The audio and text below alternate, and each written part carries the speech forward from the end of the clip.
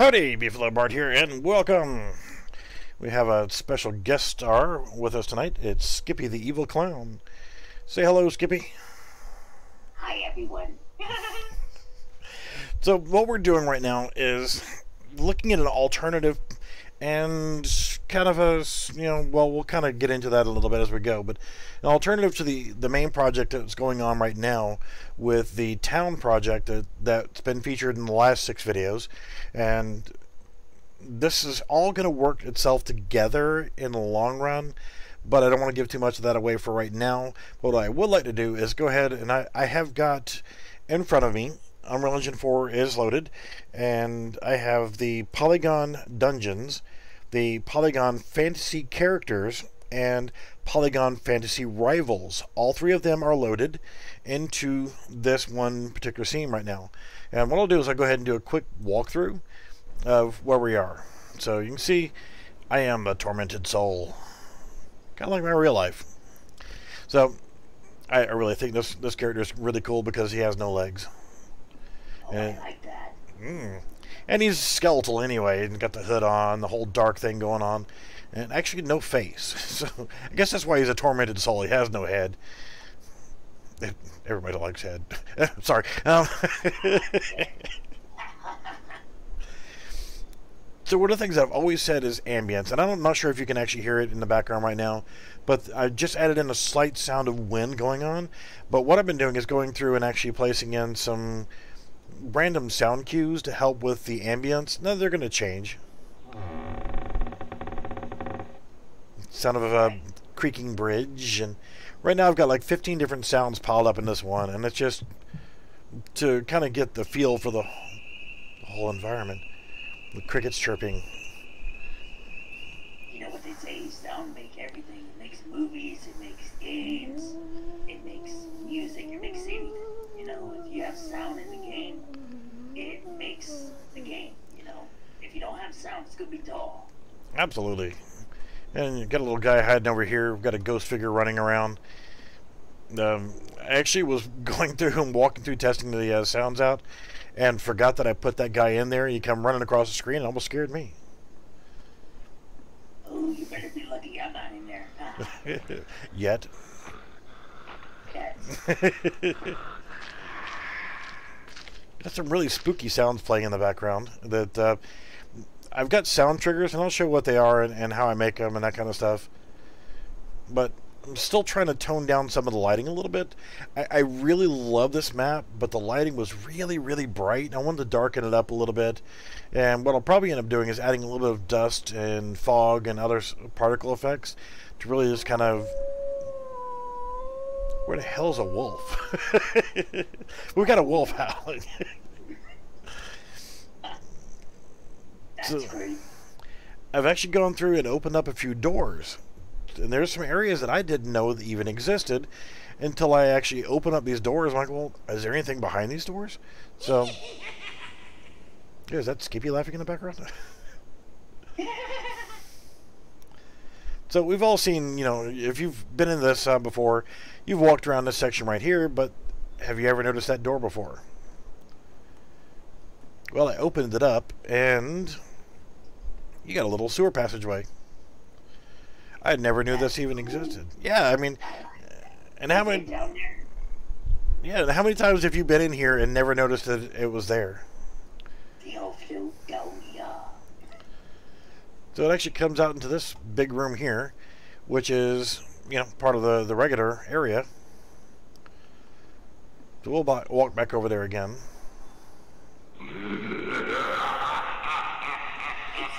This place is huge. I mean, I like it and all, but it's it's gonna run.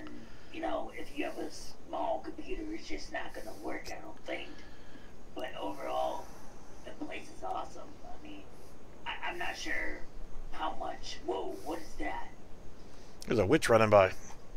Oh, which, um, but if you have a small computer, I mean, you know, if you have a potato, it's not gonna run very well.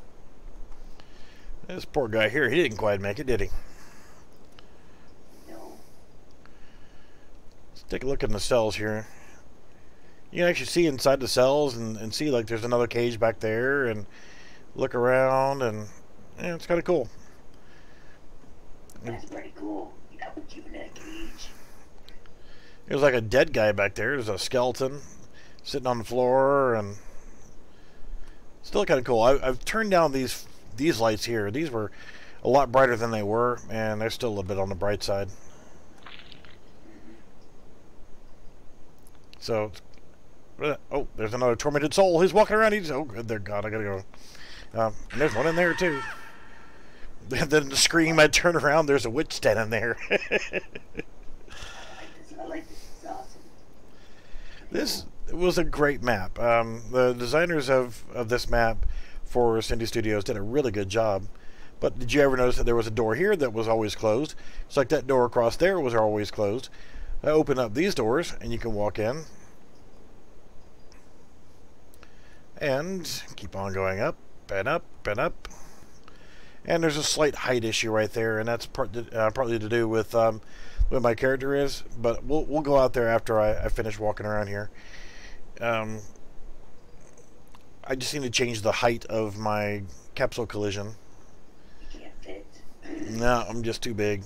Holy crap, what was that inside there? That's what she said. Ah, yeah. There's a ghost inside there. I gotta go. I still gotta adjust some more lighting in it. It's just way too bright in some areas. I Hey. like, I like the map though. It's pretty nice. I mean, they did a really good job. It's I could see people fighting it out in this map. Uh, I could see them putting them like cops and robbers or whatever, kind of like spookiness or something. I don't know. Maybe a um, you get a group of people and one of the monsters killers get them and then grab them and take them to the jail, and then their group has to try to find them. You know, I think that'd be cool.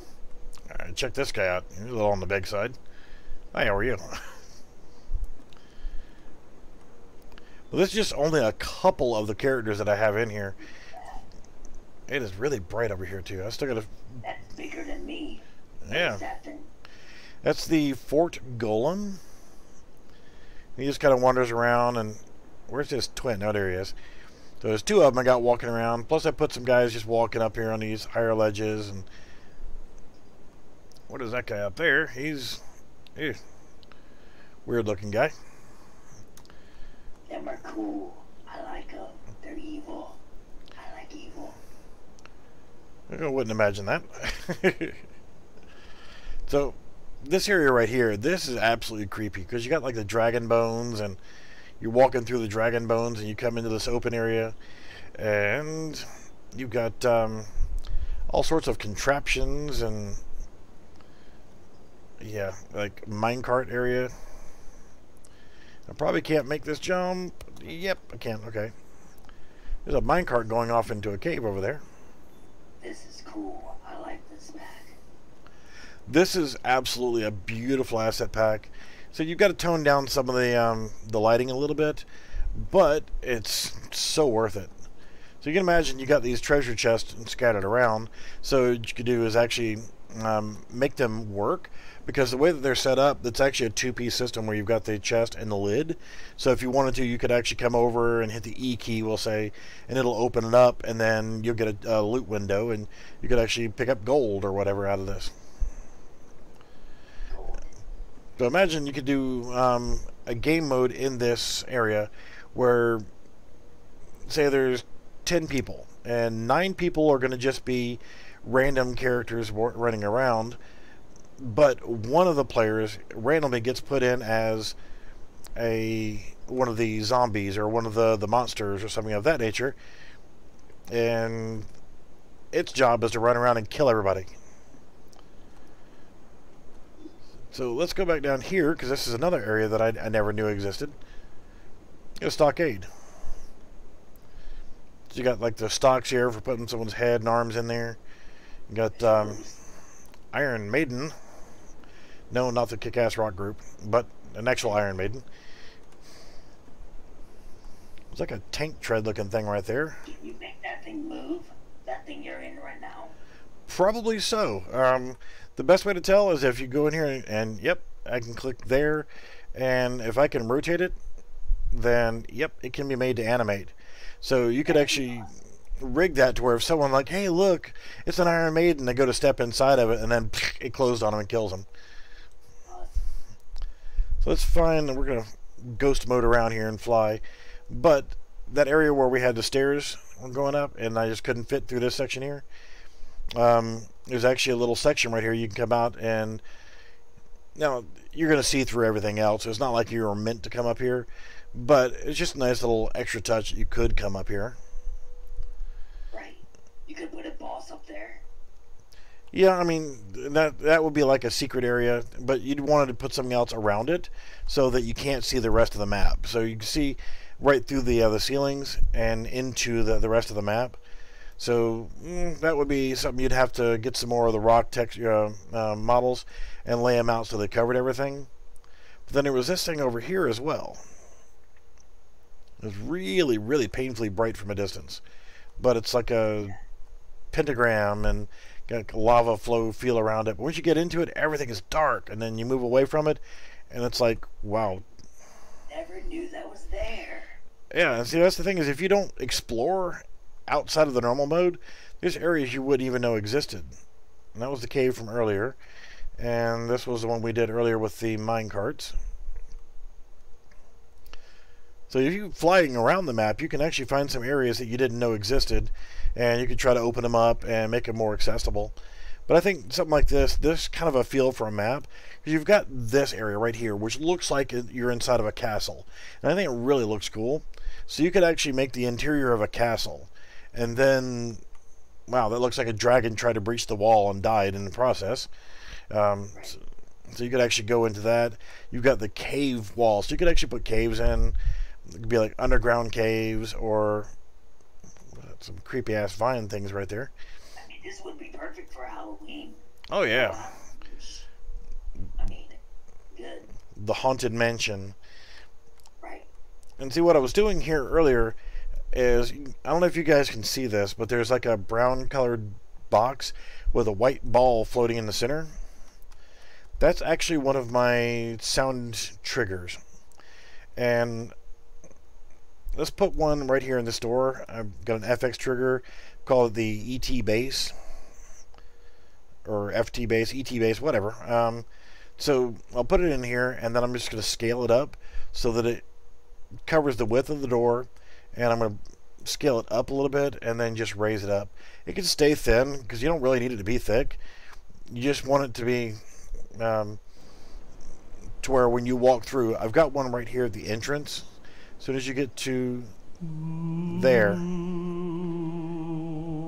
it plays a spooky sound. Then there's one there. Um, so I've got them all along the, the path, like there. There's one in that doorway. There's one in this doorway.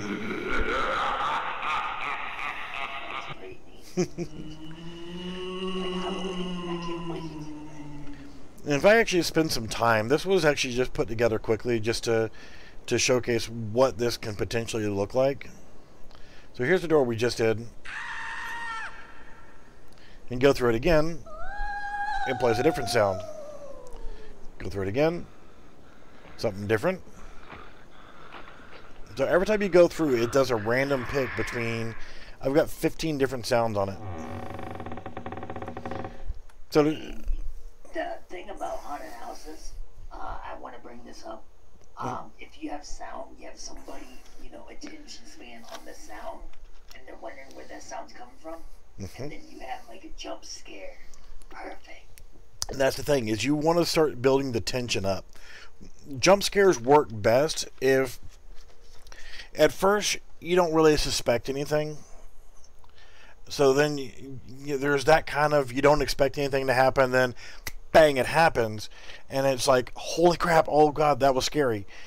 But isn't it a little bit more scary if you kind of think that it's going to happen, think that it's going to happen, and it doesn't yet? There's um um, theme park um, called Carowinds, and it's not far from here. Well, it's on the other side of the damn state, but um, one of the rides on there is a simple thing where you got like three sides, and you got like four seats side by side on each of the three sides. It goes up like 15 stories, and then it just falls down, and it uses you know brakes to slow you down, so you don't like die or anything, but you know it, it goes up, and you know that it, the whole thing is going to be that it goes up and it just falls, and it falls really really quickly, and then slows you down to where you come to a, a smooth stop. But here we're it, it's scary enough when you get up there. You're like, oh god, we're really high up, and if you're afraid of heights, it's okay. I'm kind of getting terrified, but you know that it's going to fall. So you're trying to prepare yourself for that fall. What they've done is they have fake outs. So as you get to the very top, you're sitting there, and then you're sitting there, and then you're sitting there. Like, okay, is it going to fricking drop? And then you hear a, a clunk sound, and you think, that's it. Okay, we're going to fall. So you, you tense up your body, and it didn't fall. What the hell was that click? What was that noise? I thought that was the latch saying, okay, now you're going to fall. And you start getting pissed because you just got your body tightened up, ready for it to do that. And before you can get a chance to regain your composure, bam, it goes ahead and falls. That's scarier. That's scarier than than knowing that it's going to fall is you don't know when it's going to fall. And after you you've gotten angry because it didn't fall when you thought it was, and then all of a sudden it does fall, that to me is a good scare. Yeah, that, that definitely is. So if you can do stuff like, you know, I'll go back in here and quickly and just play.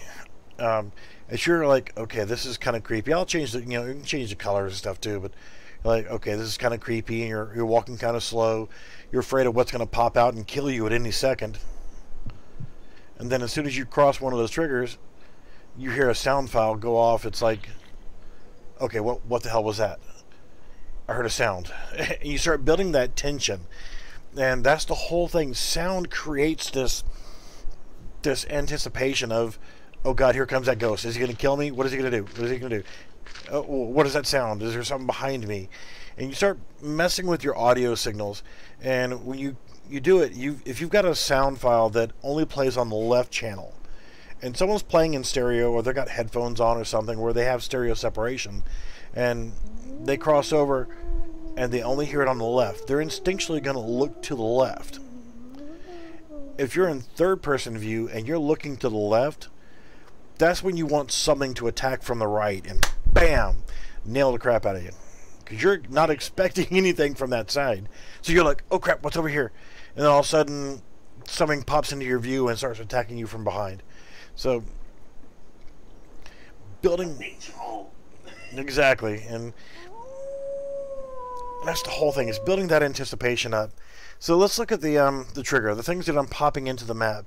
All it is is if you look at the viewport, is just a box collision. Is the only thing that's in the actual default scene. You look at the um, the actual event graph. This is it. That's all there is. And all you're doing is you right click on your box and add event, and then you're telling it to on component begin overlap you select your actor component from other actor. You do a cast to your third person character, or in my case, the player underscore base. And then you grab a reference to your box and you get get the world location. Now this is going to be important because if you and I are both in there, what happens if you're on the other side of the map? Once I trigger this this sound, it's only going to play in the area where that item is you're not going to hear it because of sound attenuation and everything else. It's only going to play in that local area, so only I'm going to hear that if I'm the one that triggered it. So that's pretty cool. That is, that is pretty. And it, it's set to play sound at location, and it's using that location to play it at. But what I'm using is a sound cue, which was called Random Spooky. So I created a sound cue and that's in my effects. You can see I added a bunch of different sounds in here. And the spook, random spooky. And yes, yes, I am that OCD that I went through here and actually aligned all of these sound uh, wave files by size. I am that OCD. So, um, the random spooky, we sound uh, all kinds of sounds, right? Random. Yes. Random because if it plays the same it boring. Exactly. And you can see right here, I've got 15 different sound files here. And all I did was I came out from the output, which I can show um, temporarily. I can go over here and I can right click and go to sounds and go to sound cue, test underscore Q, or spell it the way they do it, C-U-E. And when you go into it, all you have is the output node. That's all you've got. So you can actually drag out of it and say random.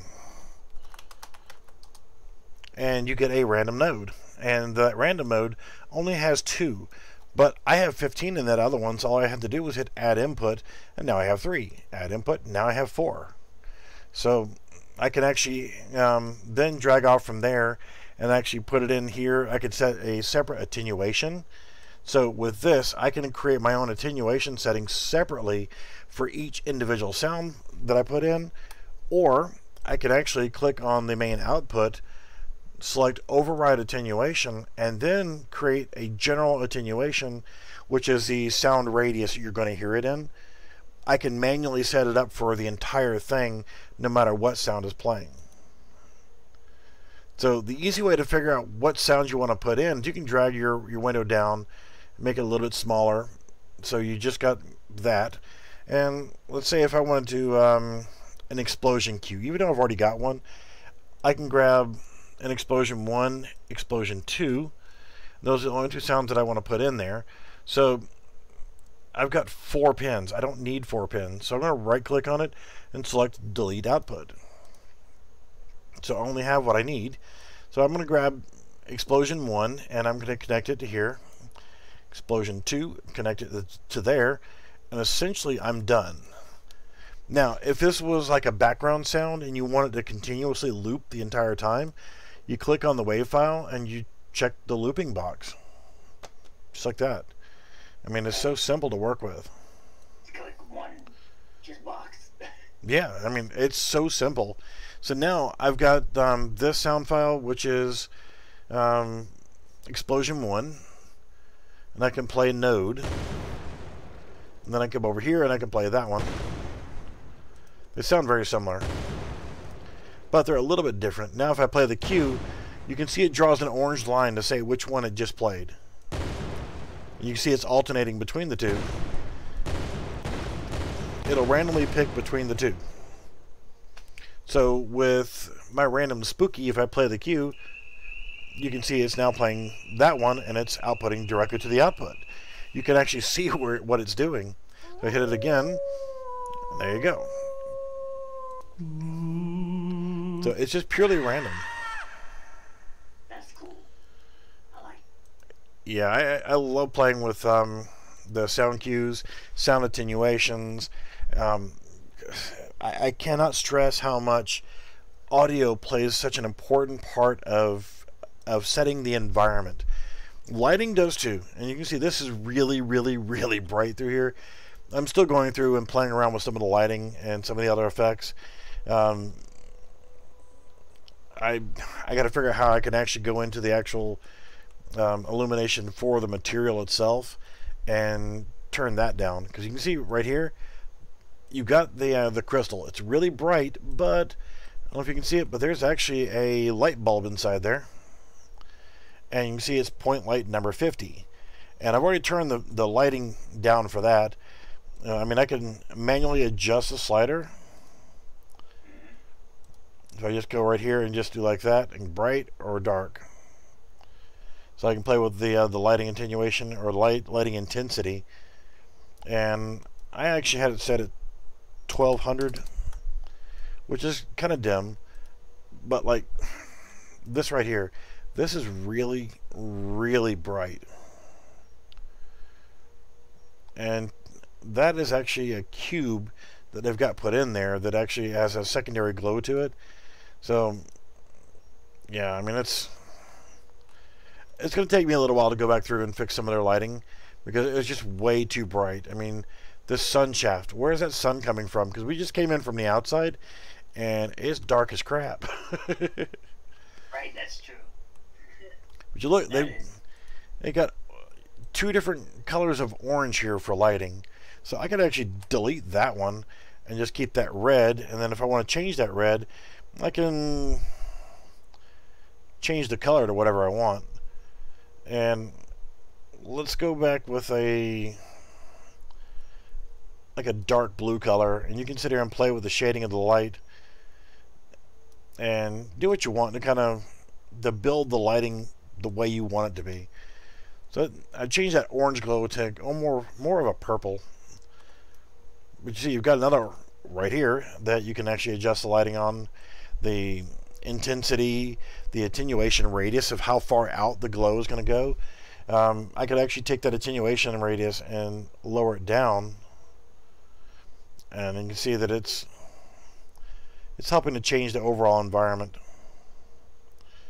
So learning the lighting and learning sound is so important for setting the scene.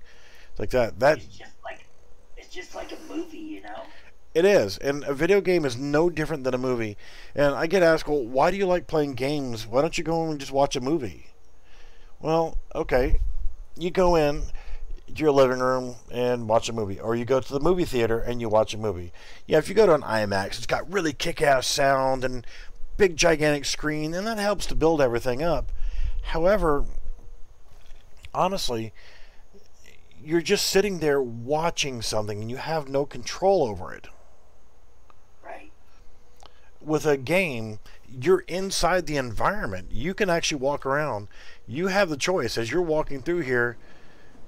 Um, yeah, uh, you have control. I'm walking. If I don't want to keep walking forward, then I, I could just freaking stop. The movie, you can't stop. Actor or actress in the in the video game. Exactly. You're living it. So now I come to right here. I have a choice. I can go left or I can go straight. That's just a creepy voice in the background. Ugh. Um, so I want to go this way. I'm like, well, no, I changed my mind. I want to go this way. In, instead of like with a movie, you're just watching what somebody else has already done. When you're playing a game, you're actually taking control and you can do whatever you want to do and go where you want to go. If you decide, okay, screw that noise, I want to go back this way, you can go back that way. Um, once I start bringing some other animations and some other actions in, you can bring in a sword, or I can bring in, hell, I can have the Tormented Soul here, um, draw out a 1911 and start popping caps in somebody's ass, you know? Can you have these soul actually go inside somebody? If you want to, yes, you can actually. Um, you'd only want to possess an NPC because if you're if this was another player right here, this golem in front of me, if I walked over and just did a magic spell and took possession of it, then my corpse or my body then needs to fall limp to the ground and ragdoll. Now then I would have full control over that non-player character, and now I could walk around and be that non-player character the best way to do that, I think, is actually to put a timer on it. It's like if you're casting a spell, you're channeling your energy until you run out of mana or whatever else, and then you can no longer channel that spell.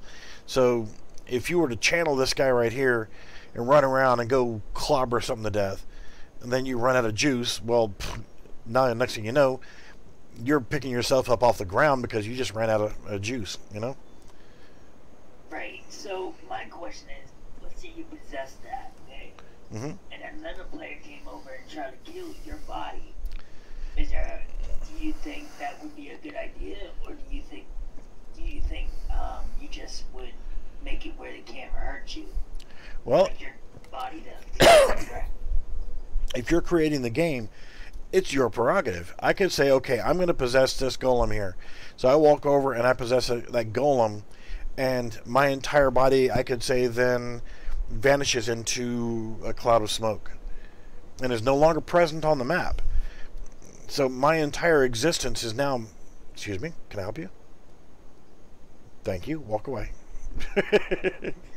so once I. Uh, Oh, you're coming back for more? I will kick your ass. I'm sorry.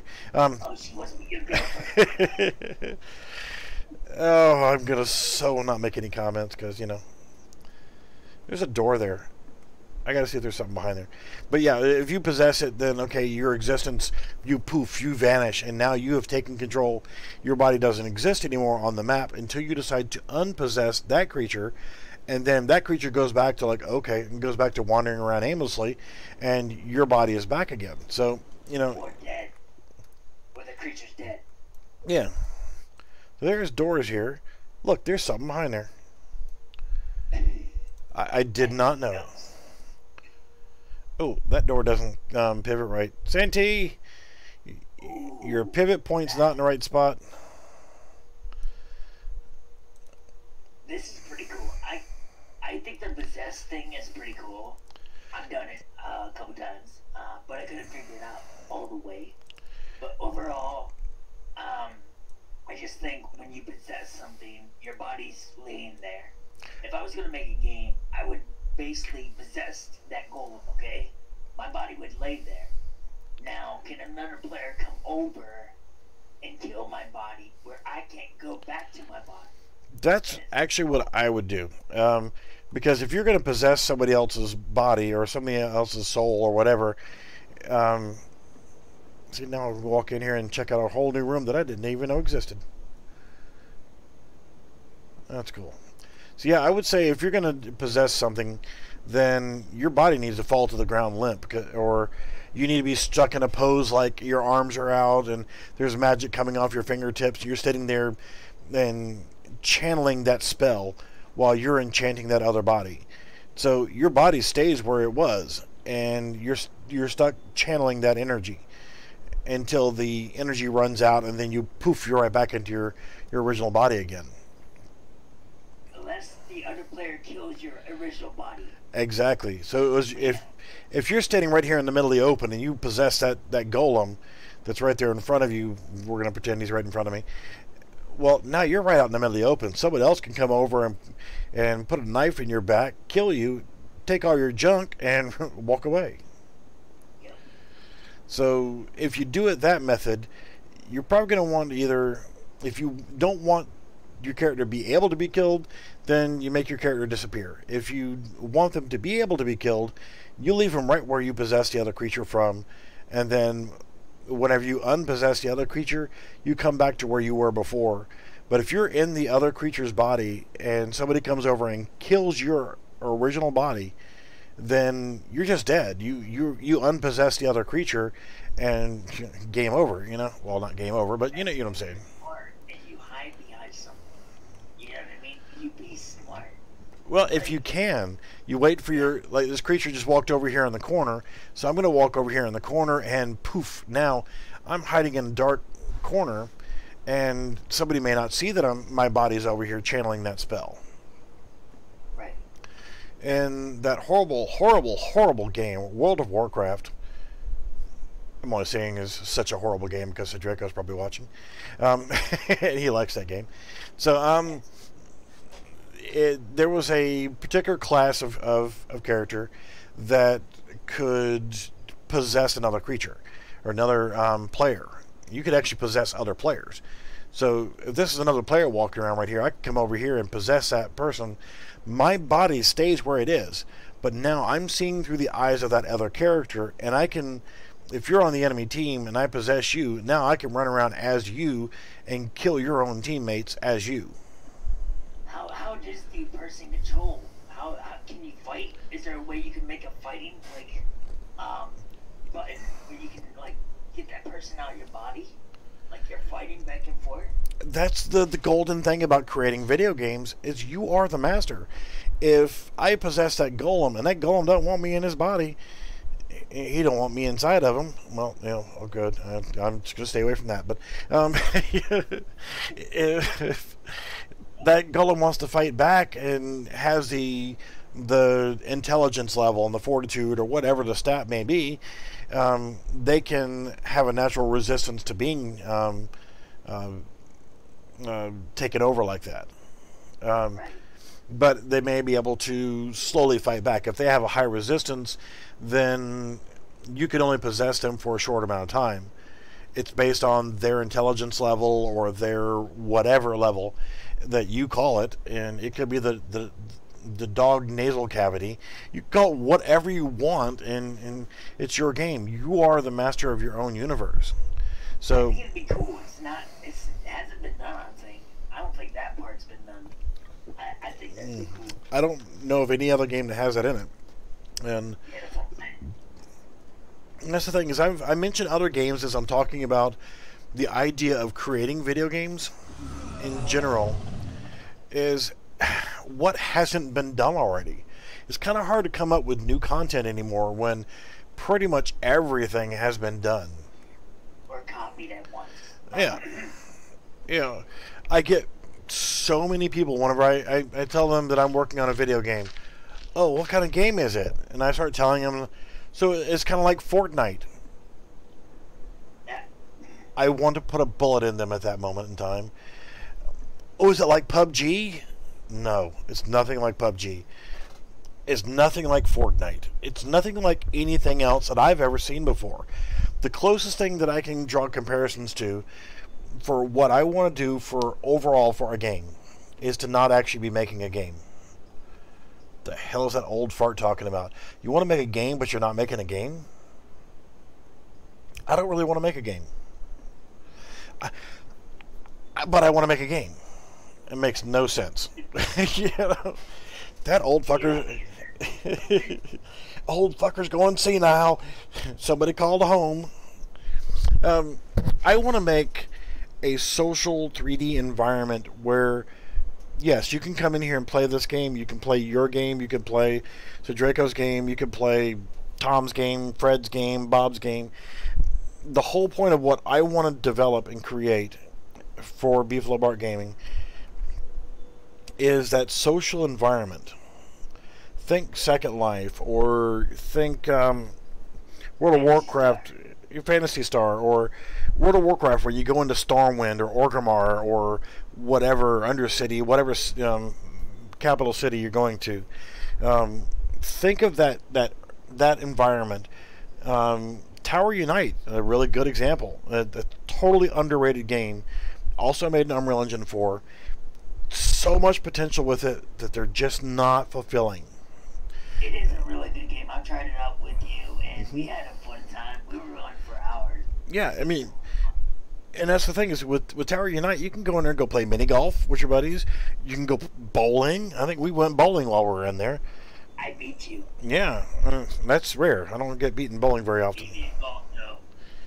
Yeah, well, you know, it's the you know, I'm I'm gonna stay away from the size of the balls, make the difference in, in what game you're playing. But uh,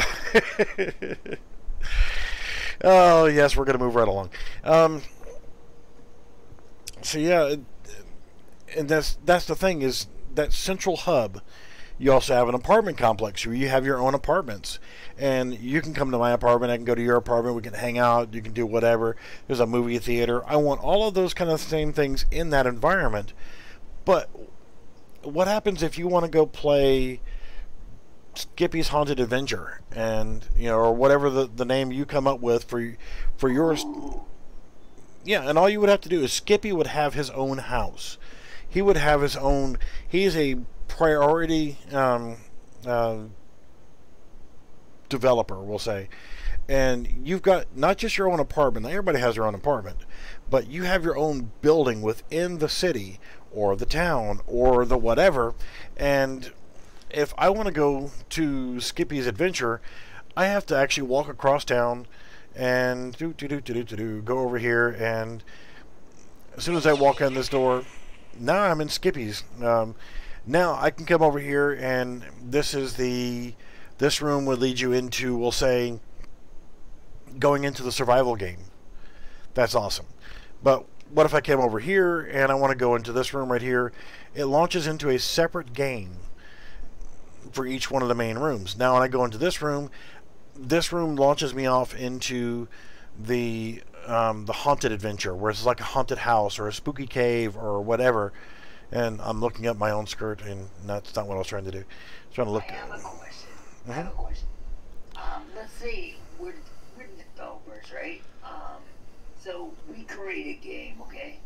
Can we make it where we are the bosses? Like, if we decide to be a boss one day, and like, you know, like maybe two hours or four hours, and people can play and win a gun or a special weapon or a special item from us if they can beat us. Can we do that? Yeah, see, that's the thing is all you have to do is create a um, an administrative um, application. Um, games like um, GTA 5, where you have your cell phone, you break out your cell phone, you can you can do certain things. Why not have a tablet or a window that you can bring up as a developer or as a um, um, an ad admin within the, um, the the actual project or the actual uh, main main project? You can bring that up, and I'm getting ready to do a giveaway, so I'm going to go ahead and give myself the Beefalo Blaster and I want to get a Beefalo Blade and a Beefalo Bow. I'm going to give myself those three items because those are the items I'm going to give away in this contest. And now, here's where the fun part is, is um, you can do that. Um, however, you think about what game you want. If it's something that's premeditated, and that's what I mean by premeditated is um, if it's a scavenger hunt, and, and I'm going to call back on my, my World of Warcraft private server days. Um, one of the things we used to do was scavenger hunts. Say, okay, I need you to go and bring me five savory fish, or I need you to go, and you can only get savory fish in one place in the entire of the whole game. It was only one pond you can go and get them from, or you know, so someone has to know that's where they are and actually go and find them and bring them back. Um, or you can go into like Stormwind, for an example, and hide golden coins in a little loot bag, and that little loot bag is hidden behind a flower pot somewhere. You've got to search the entire city and actually find that little loot bag, and then, hey, look, I open it up. Ah, oh, damn, it's nothing but a you know a lump of coal, and have a random loot spawn in that bag.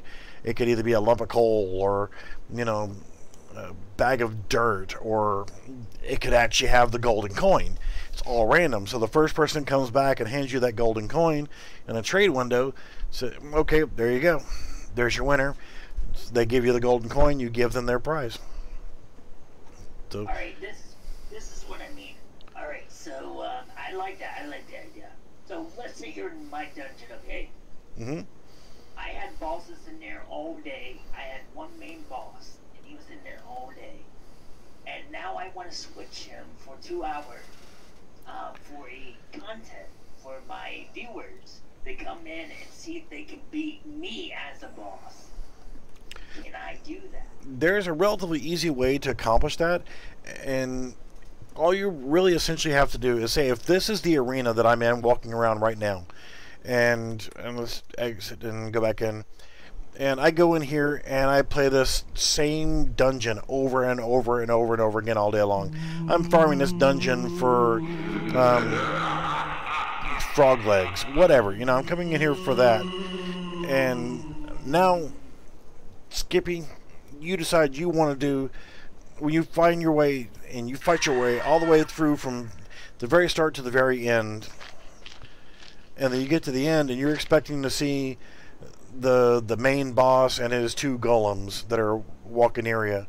Well, now whenever I walk through these doors and go into the final fight area, I see the two golems, and holy crap, what is that? Well, to accomplish that, um, what you have to do is you go in, since these are just files, that's all this stuff is.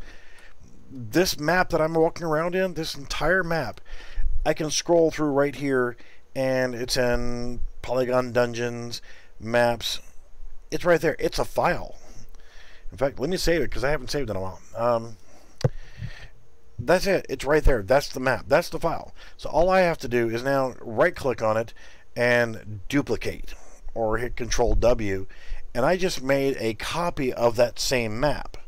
And now I go into the copy of that map and I take this zombie king right here and I boot his ass to the curb. I hit the delete key and he's gone.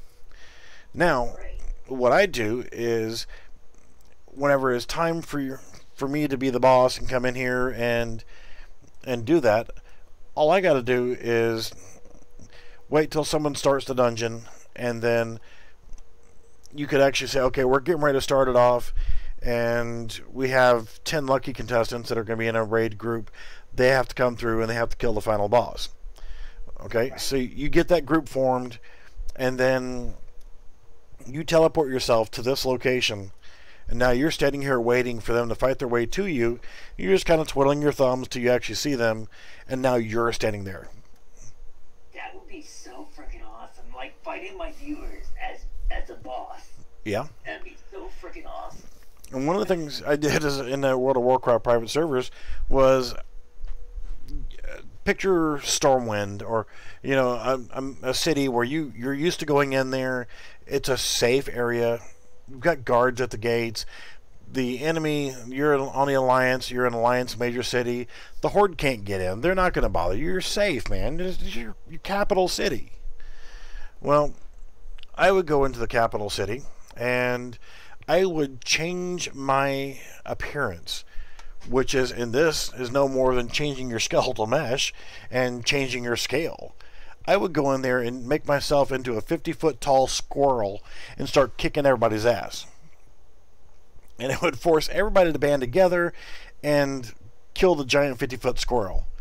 And yeah, and I would actually sit there and anybody who was there, I would just give out a bunch of gold or whatever else and, you know, make it into a fun event where first off, you're in you're you're talking to the vendors and you're selling stuff and you're putting stuff in the mailbox and you're doing your normal stuff you're doing in your capital city, and you turn around and look and what the hell is that? It's a freaking fifty foot squirrel, and he's stomping a mud hole on the guards. um, yeah, I mean, I go in there as a giant turkey or a squirrel or um, a you know, a skeleton or whatever, you know, just just to mix it up and have a little bit of fun. So pretty much yeah. So anything is possible. And you look at all these different characters. And let's go ahead and scroll down and look at the characters that are available in these three asset packs that I have in here so far. Then we'll move on to the the next part of this conversation and we'll get ready to finish things up here. Cuz I like to keep my videos no longer than about an hour. That way I'm not totally boring everybody to friggin' death. So, character. I just thought the boss thing, the admin stuff would be cool for like Arcade. You know, decide to do that. It is. And the whole concept of having this social 3D environment thing is. and I'll go into a different project here in just a minute after I cover these guys to kind of discuss more of what the overall project is going to feel like. So we got, got some ghost characters. Um, Choo Choo. So you got all the different ghosts and orcs and skeletons and hero knights in shining armor, male and female. You got a rock golem. This little old tiny golem. Um, you you got to see some of these other characters. Um, if you haven't seen these yet so far, um, a female druid got like flowers and. Where did you get the golem from? From here or no? Um, that first golem that I just showed was actually part of the Dungeons asset pack. Okay. Now I'm actually looking at some that are in the uh, Polygon Fantasies character um, asset pack. Here was our witch. For a witch, she's almost kind of cute. So you got um, a female peasant. Got the nice hair. Now the the cool thing about like we change people to frogs. Yeah, see, that's the thing is um with the I call it the the name your price tool or the the the tattletale gun or whatever else I, I decide to call it. Got a male sorcerer. Swashbuckling cool guy there.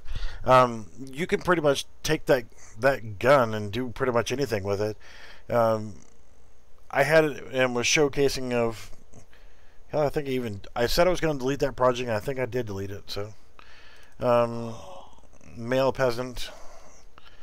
I actually, followed through on something that I said I was going to do. Um, yep, male wizard. So that's cool, and really good job. Oh yeah, and I'm gonna quickly show off the um, the ones from the Fantasy Rivals asset pack. And this is where we've got the um, the giant barbarian, the red glowing eyes. The cool thing about it is you can actually change their um, their colors and stuff. Um, there's four different colors for each of the different things. So you got like, and there's our rock golem. Oh, there's a funky one you got to see. The um, the pig butcher. It's like a pig that stands up like humanoid, and he's got a thong and an apron and a pair of gloves. Oh, that would be awesome, like for a boss. Oh yeah, and you, the thing is, you can make them as tall as you want to. Those rock golems that, or the the fort golems that I have walking around, I actually scaled them 1.5 times normal. Um, I could make them as tall as I want to and as wide as I want to, make them as huge as I, I want to. Can you make him talk? Um, I, yes and no, and that's the thing is these skeletons is um. Okay, I'd, I'd have to look at a different skeleton because I reapplied all this stuff. There's nothing assigned to that skeleton. Um, you got a Medusa character here that you can actually put on um, the snakes, and they're animated. You can put that on as the, the character's hair. Yeah, I thought that was pretty cool. So the snakes, like Medusa's hair is actually made out of snakes. So you can actually put that on the the character's head, and they can walk around with live snakes on their head. You've also got um, there's one dude that actually has um, arms. All right, kind of sticking to the ground here, but he has additional arms coming off of his back. So he has like three complete sets of arms. And there's actually animations for them as well. That's crazy. Yeah, so, is doing a really good job. Um, they're making better packs each time. oh yeah. They started with the you know the, the simple stuff, and those were cool. Don't get me wrong, but holy crap! They um, let me go ahead and, and do a save all, make sure everything's good to go. And no, I'm not saving those because I didn't do any freaking changes to them. Eat me. So, no, don't save. Let's go back into the um. Let's see. Yeah, I actually did delete that that project. Um, the one that I said I was going to delete, I actually deleted it after the uh, the stream. Um, no, Like, really? it was just stuff that I was slapping together for the stream to be what I was talking about. Um, so I'll actually go into um, Polylife. This is actually the project that I was working on in the other streams. Uh, I did roughly five hours worth of live streams yesterday. Back to back to back. I did one hour, I'd take a 10 minute break, do an hour, do a 10 minute break, just back and forth, back and forth like that. Yeah, I was watching it. and I was doing the courtesy uh, when you were doing the money. Pretty cool. So we're we're all familiar with the Polygon City and the Polygon High stuff, and I've got the Polygon Town added in here. And now I actually have not looked at the other characters. I've got them, and I haven't even opened them up yet. I need to open them up. So let's actually go to this map, so we can take a look and walk around and that kind of junk. So this is the one we were talking about before, is the town map. Like this map. It's really cool. Yeah, and that's the thing is you got this sky up here. You could actually change the skybox and make it darker feeling. You could change the uh, the brightness level, the the light levels, and make it kind of a darker, more spooky feeling. I actually have some new characters that I haven't even.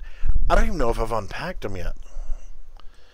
Um, let me take a look at that really quickly, and um, they're uh, the set of characters from Synty Studios as well. Um, where is there's my Polygon folder. It was the. Did I even unzip it yet? I don't even know if I even unzipped it yet. That truck's pretty nice. Like that. Oh yeah. So I'm actually working on another screen real quickly. Um, I got all my Polygon stuff in one folder here. Um, I need to repack them all and do like I did before, and actually just go through and just try to make one big clean thing. I'm getting way too organized. These sound files that I had in that other um, project, God, I had to search forever because I, I, was putting that together for some guy named Skippy the Evil Clown, and um, I ended up deleting the project. But I forgot where I put the damn sound file, so I had to search all over to find those files. That house right there behind the truck actually looks like it could be a haunted house. Yeah, see, I like that dark um, feel to the um, the the tile and that, that dark look. And that's the cool thing about it is um, you could actually come in here and you've got the um, the you can change it. Why didn't why uh, are most of the houses and can you guys go inside? Um, no, and um, these are just pre-made. These are scenery houses, but like this house right here, you can actually go inside, and I'll actually walk around town really quickly. Um, yes, I'm the police officer, but I, I have the this. You hit the V key to, to go to your um, your first person view. You can look down and see yourself and that kind of stuff. But you've got the um, that. So now, right now I've got it set up as a tattletale tool is what I call it, and it's actually wherever the crosshairs are aimed, it's going to fire a direct line, and it's going to hit something. So whenever I fire it again, you see it turn green because it hit something. So what I was doing was checking collisions on houses. And like this right here, I walk over here and okay, that's you can see that there the red dot is actually where it impacted against something. So now you can see that that's where the collision is, is where that red box is, and not where the door is. So the collision is a little bit off on that building by about a foot. So was actually going around and testing things, and I noticed like that right there is one I had to fix where the collision was. You couldn't walk past this line right here, so you couldn't even get to the front door. But you can see it's clipping through, and I need to change the settings on it. But I can clip through the wall a little bit and see through the house, so you can't go in there. I, I, is, is there a reason why they didn't make it where you can go inside? This is a demonstration map. It's only meant to demonstrate what you can do with these assets. But if you look, I can go inside this garage here. I can go inside the house. I can go into the bathroom. See the tub, shower. Oh god, there's a turd in the commode. Really? Oh my god. Oh, I didn't know that that was there. I promise. I didn't put it there. I promise. If you want to, you can make that light switch. I'm sure you can make that work. But you got a light hanging there. One thing I did do was playing around with it. That ceiling fan did not move. I actually made my own blueprint for that. So now the ceiling fan actually spins. That's freaking awesome. Oh yeah. TVs. I heard you on your live stream. You can TVs play something. Absolutely. I can make a um make this actual TV actually broadcast and play something and only have it play sound inside this room if I want to. I can change the attenuation style from a big circle radius to an actual cone. So I can make it to where you only can hear the TV when you're standing in front of the TV. But if you walk over here and into the next room, you can't hear it. You walk over here, you can't hear it until you walk inside that cone of sound. Okay, so oh, okay, so let's say I wanted to make a town with all the houses that I can go inside. Can I do that with this pack? Absolutely. And the way you do that is if you look, example, if you, I don't know if you can see the writing on the upper left hand corner of the screen, you can see the actual name of the the section of the wall. But if you look over here, that's a window frame. And this one is a door frame. And this is a solid ground floor wall. Uh, that's an interior wall. If you come outside, you can actually click on the one upstairs. And it's an exterior wall, upper floor. It the, This house is made up of dozens and dozens of different pieces. Like you got a, a, a cabinet door. You have a cabinet and cabinet doors. You could actually have those cabinets open if you wanted to. The oven, you can actually come over here and, and have the oven open if you want to. Um, Yeah, you can actually have the drawer hanging out if you want to. You got stools. You got all the different furniture you can put in as well, but you can make your own individual houses.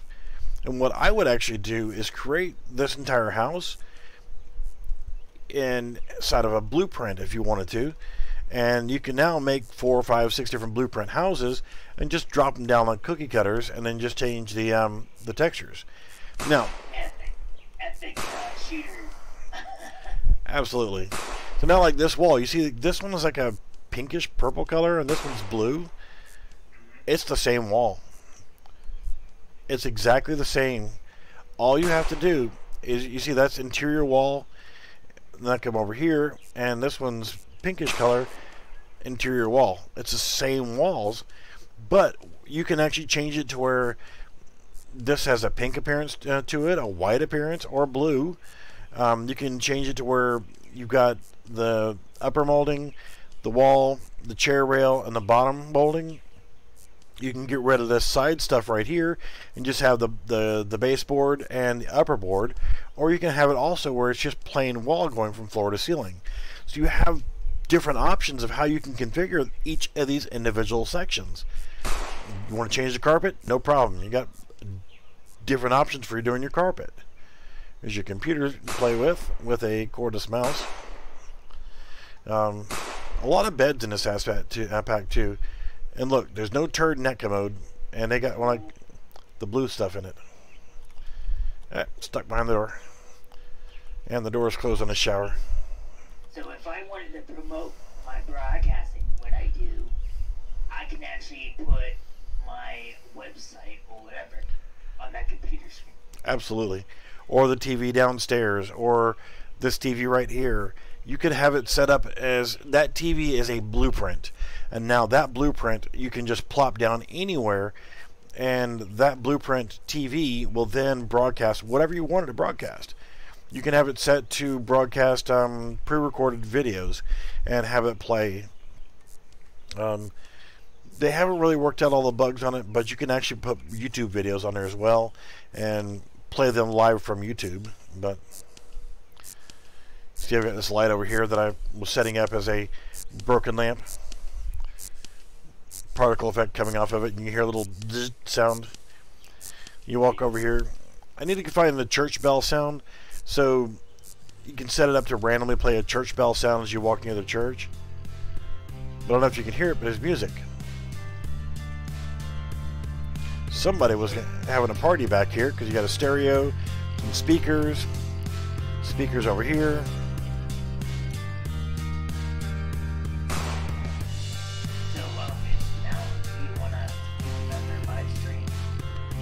Um, well, considering it is 4:40 in the morning almost, um, probably going to call a night here very shortly. But the overall concept of what I was talking about earlier with this, and the reason why I came to this other project is not just to showcase that I have two different projects going on at one time, actually more than that. But uh, the whole point is, I want to start working towards getting this town as the oh crap i am hungry and thirsty my I, I really i really see really potential in this town uh, i just wish like i said the house and you told me they do yeah um, that, that would definitely make it cool because people can have their own house or they can you know if there's a shooter if i you know or halloween town or michael myers kind of you know how they do michael myers game mode yeah. I, I think that would be pretty cool. So here's the example of that. Go into um, and hell, I got sidetracked. I was going to put those characters in here. Um, it was the city characters pack. I extracted it, but I didn't fully extract it. When you buy um, the assets from Synty Studios directly from their website, it, when you unzip the first RAR file, you're going to have three RAR files like that. And then I'm in Unreal Engine 4, so I'm going to use that one. And I'm just going to right click and extract to there. And then go into it. And you got Polygon City Character. Open that up again. I'm going to go to the content folder. And you can see you've got Polygon City Character right there. I'm just going to grab that and Um, not in Poly Dungeons right now. I am in. What am I in? I'm in Poly Life. so, Uh, yes. open that up. Open up content. Now you can see Poly City, Polygon Heist, Polygon Town. So now I'm just going to grab that and I'm going to right click and drag it into the content folder and copy here. And they're here. So Polygon City characters. And I can go into the characters folder and now I have new characters. I have, haven't compiled the shaders for them yet, but got a biker dude and got um, oh, we got a firefighter. Do you think it's easier to do it that way than doing it through the market uh, place where the library, where you have to? I like it both ways, and I'm going to tell you what, Mr. Hot Dog. Um, yes, there, there is a hot dog guy right here on the screen. That's why I said that. Um, the reason why I, I like it from the marketplace is because you get frequent updates, and whenever well the updates are done, you actually get them automatically. Um, when you get it from their store, you're not going to get the updates that way, but you get an email with a link for the download. When they update it, they update it on their website. So if you know that there's an update, you just go back and re-download it again. So it's not a big deal. Um, but with this right here, I was saying before, is you get the um, inside the initial zip file you're going to get the source files the unity and unreal so if you decide well screw unreal engine 4 i'm done with this junk i'm going to go to unity well guess what you've already got the unity files right there so you can develop both ways you, you can go both ways if you want to um, Unity's hard. I'm sorry.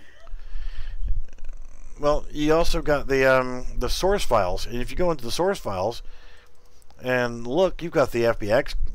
What if you want to import these across and try to do something that I'm going to play around with a little bit later on, and actually try to do? Well, I've done it before, but I'm going to use the Synty Studios, and I'm going to retarget them with animations from another source, and Like the game Gundam style, with a thriller. Yeah, so like we did with the, the thriller challenge and that kind of stuff, um, using those kind of animations from that website. I So want to do that so bad. The thriller would be cool.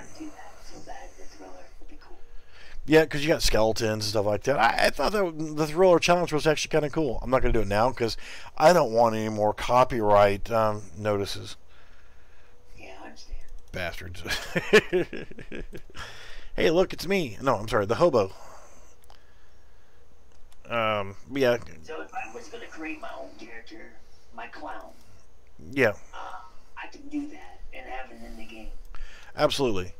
Um, and you know, it's almost like the you know the Synty Studios likes you or something, or just knew that clowns are, are a thing.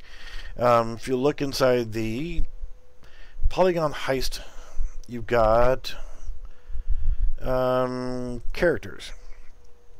And that's not the the important factor here, because I mentioned this before in another video. Was um, the FBI guy and gal and the SWAT guy are, are relatively normal. But if you look at this guy here, he's missing part of his head. He has no eyebrows. Um, yeah. And that's because inside the items, yeah, I was right the first time. Um, inside there, you've got hair. So you can attach different styles of hair. Kind of hard to see or you can actually put masks on. And one of the masks is bum bum bum a clown mask. I like clowns. I would have never guessed that. so you've got this clown mask, and it is so easy to make that clown mask work. So we know that we're in this map right here, and I want to make sure that I'm in that. So now if I hit play, I'm in the map. Well, I'm I'm the cop character, so let's actually change that. I can go into my character, go to player, and I'm gonna go. I want to be. Thing I'm gonna have to do is go to my mesh and uh, Poly Skelly, go to my skeleton itself, and this is just my my preview mesh. I'm gonna need to add in a new socket, and it is so easy go to the head. Probably click on the head. There you go, head. And I'm going to right click and add a socket. And I'm going to call this capital M A S K mask. And just for giggles, I'm going to go ahead and move the location up a little bit. But what I want to do here is get right click and add a preview asset and let's see clown mask so I can add a preview asset to it and you see all I have to do now is just rotate it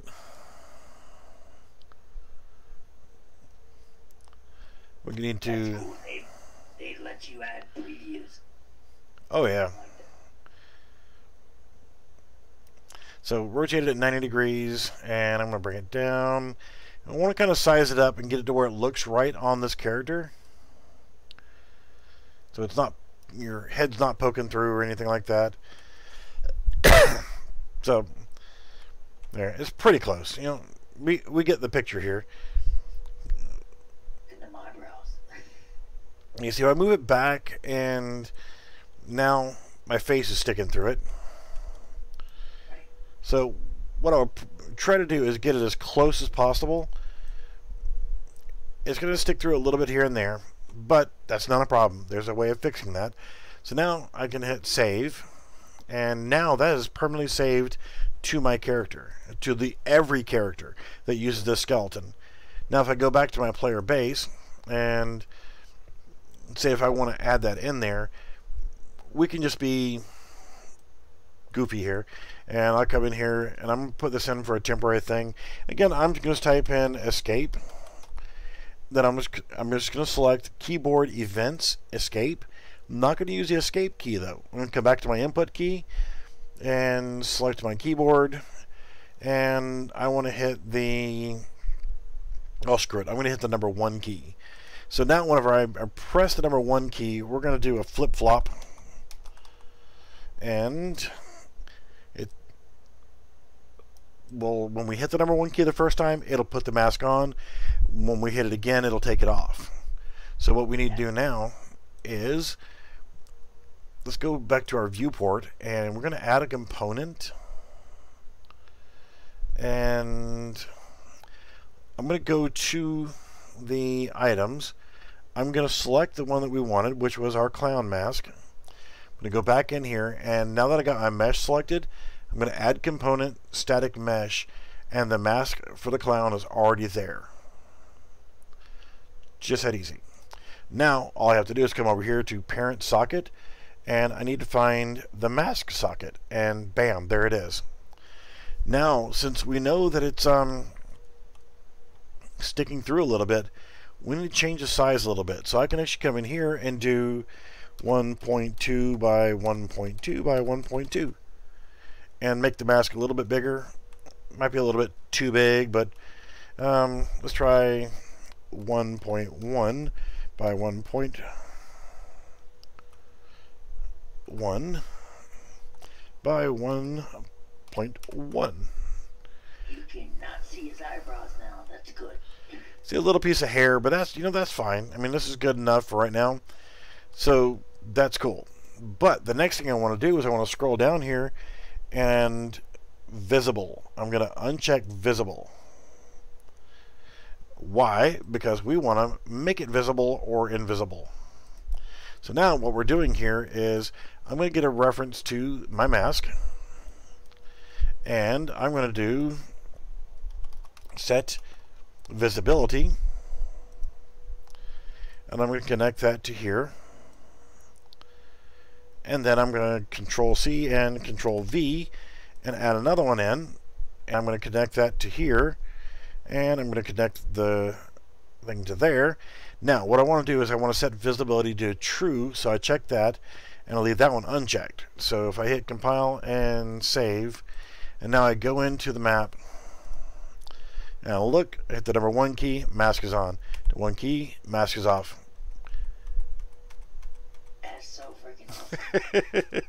Script, right? script.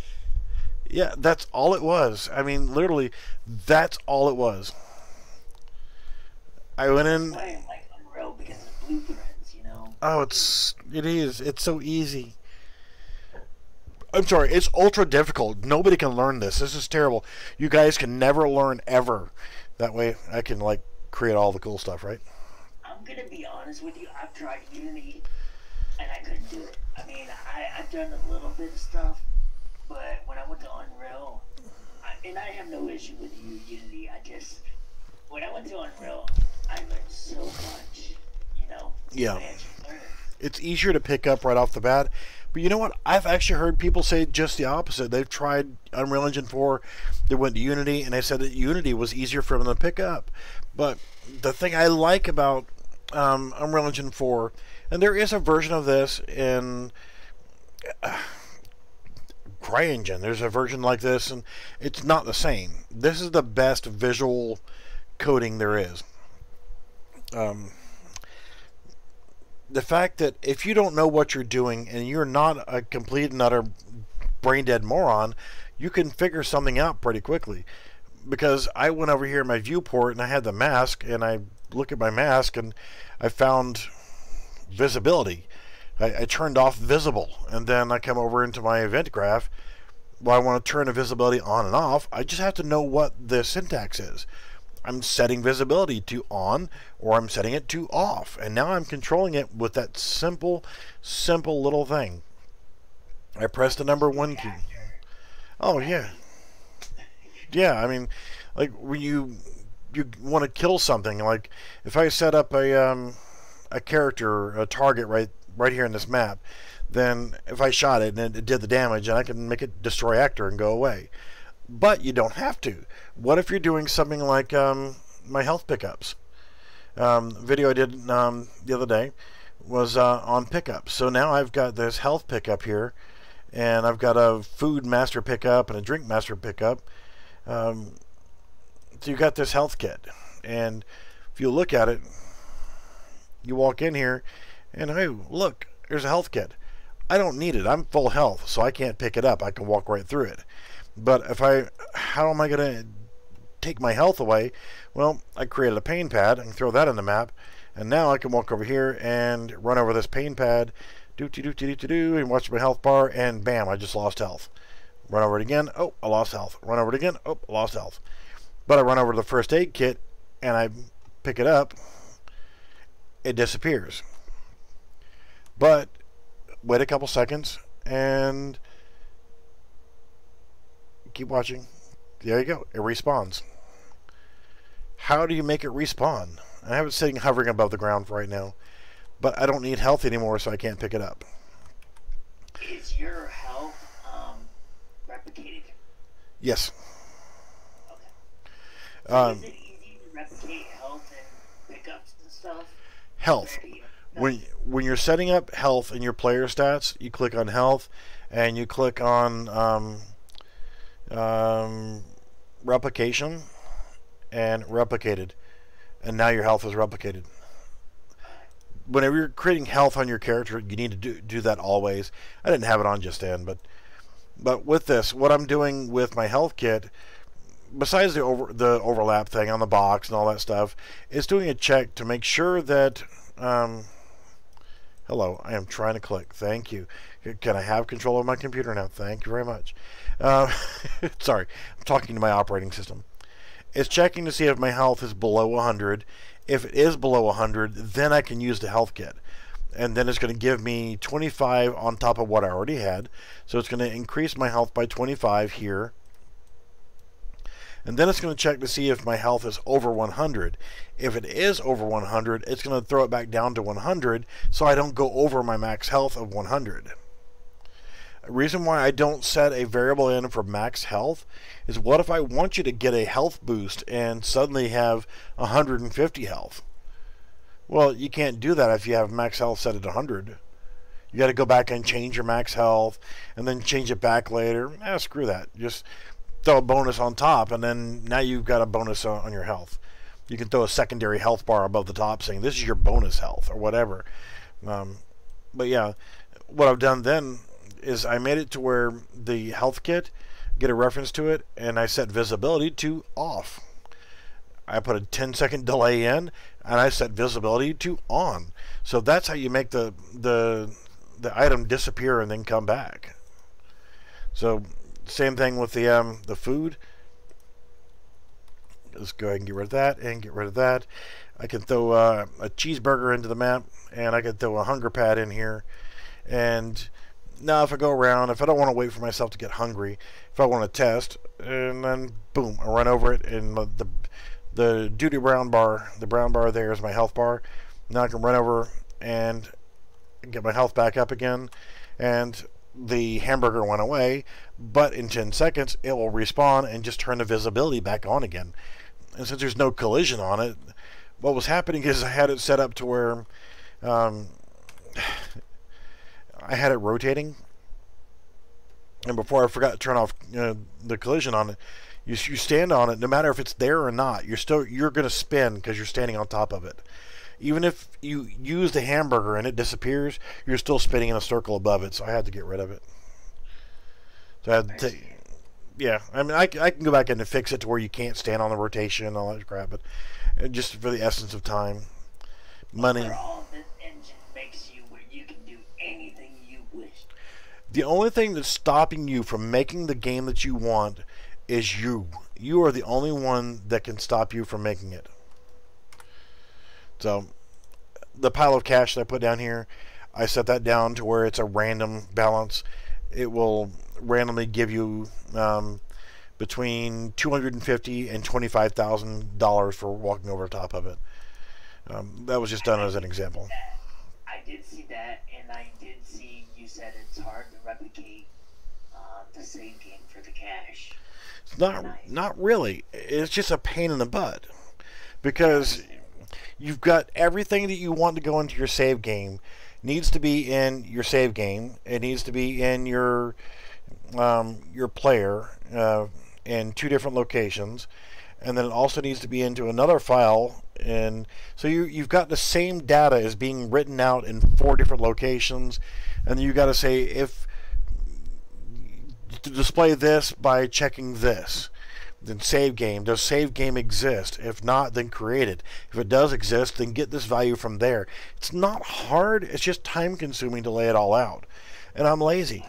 And I'm old. I don't have much time left. I understand. I'm old too. I'm 200 years old. Well, that sucks. You're older than I am. By you know, several times over. That happens. Yeah, I was going to show you the, the, the house building thing. So if you want to build your own custom town, I want to build Michael Myers' house. all right, well, let's start off with an exterior wall. Drop it into the map, and there's a door frame. And then you want a garage door. There's your garage door opening. I don't think Michael Myers has a garage door. Nope, but I just took it back out again. Um, so we need a regular exterior wall. Let's put that in there. I'm not lining them up all that perfectly because I don't really care. Remember, we made a Michael Myers' house. Oh yes, and it actually looked really good. And then when you spent a lot of time working on looked even better. But um, Yeah. you spent some time actually working on it, and it came out really good. You get into something what you, you you get out of something what you put into it. I do have a question. If I wanted to create, I, I don't know if it has all the parts. Um, if Synty Studios has the parts for Michael Myers' house, I mean they might. But if I wanted to create little parts, could I do that in Blender and make that the same texture? Yeah. Um, one of the things that I did, it's not the best way of doing it. I mean, it's not 100%, it's not like the best way, but it works.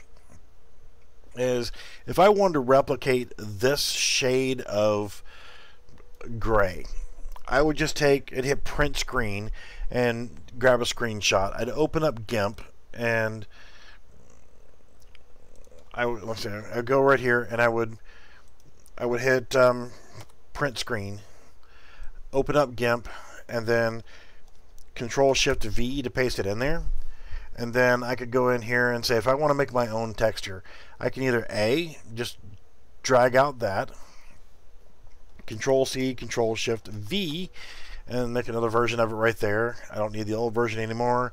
And then I can take a image and scale image. And I want to make this 1000 by I want to uncheck the chain there by 1000 hit scale and now I have a 1000 by 1000 image of that same gray color. What if it's not all the same color? Okay. Well you know you can do it you know a bunch of different ways but you can actually take the eyedropper click and now I've got that color.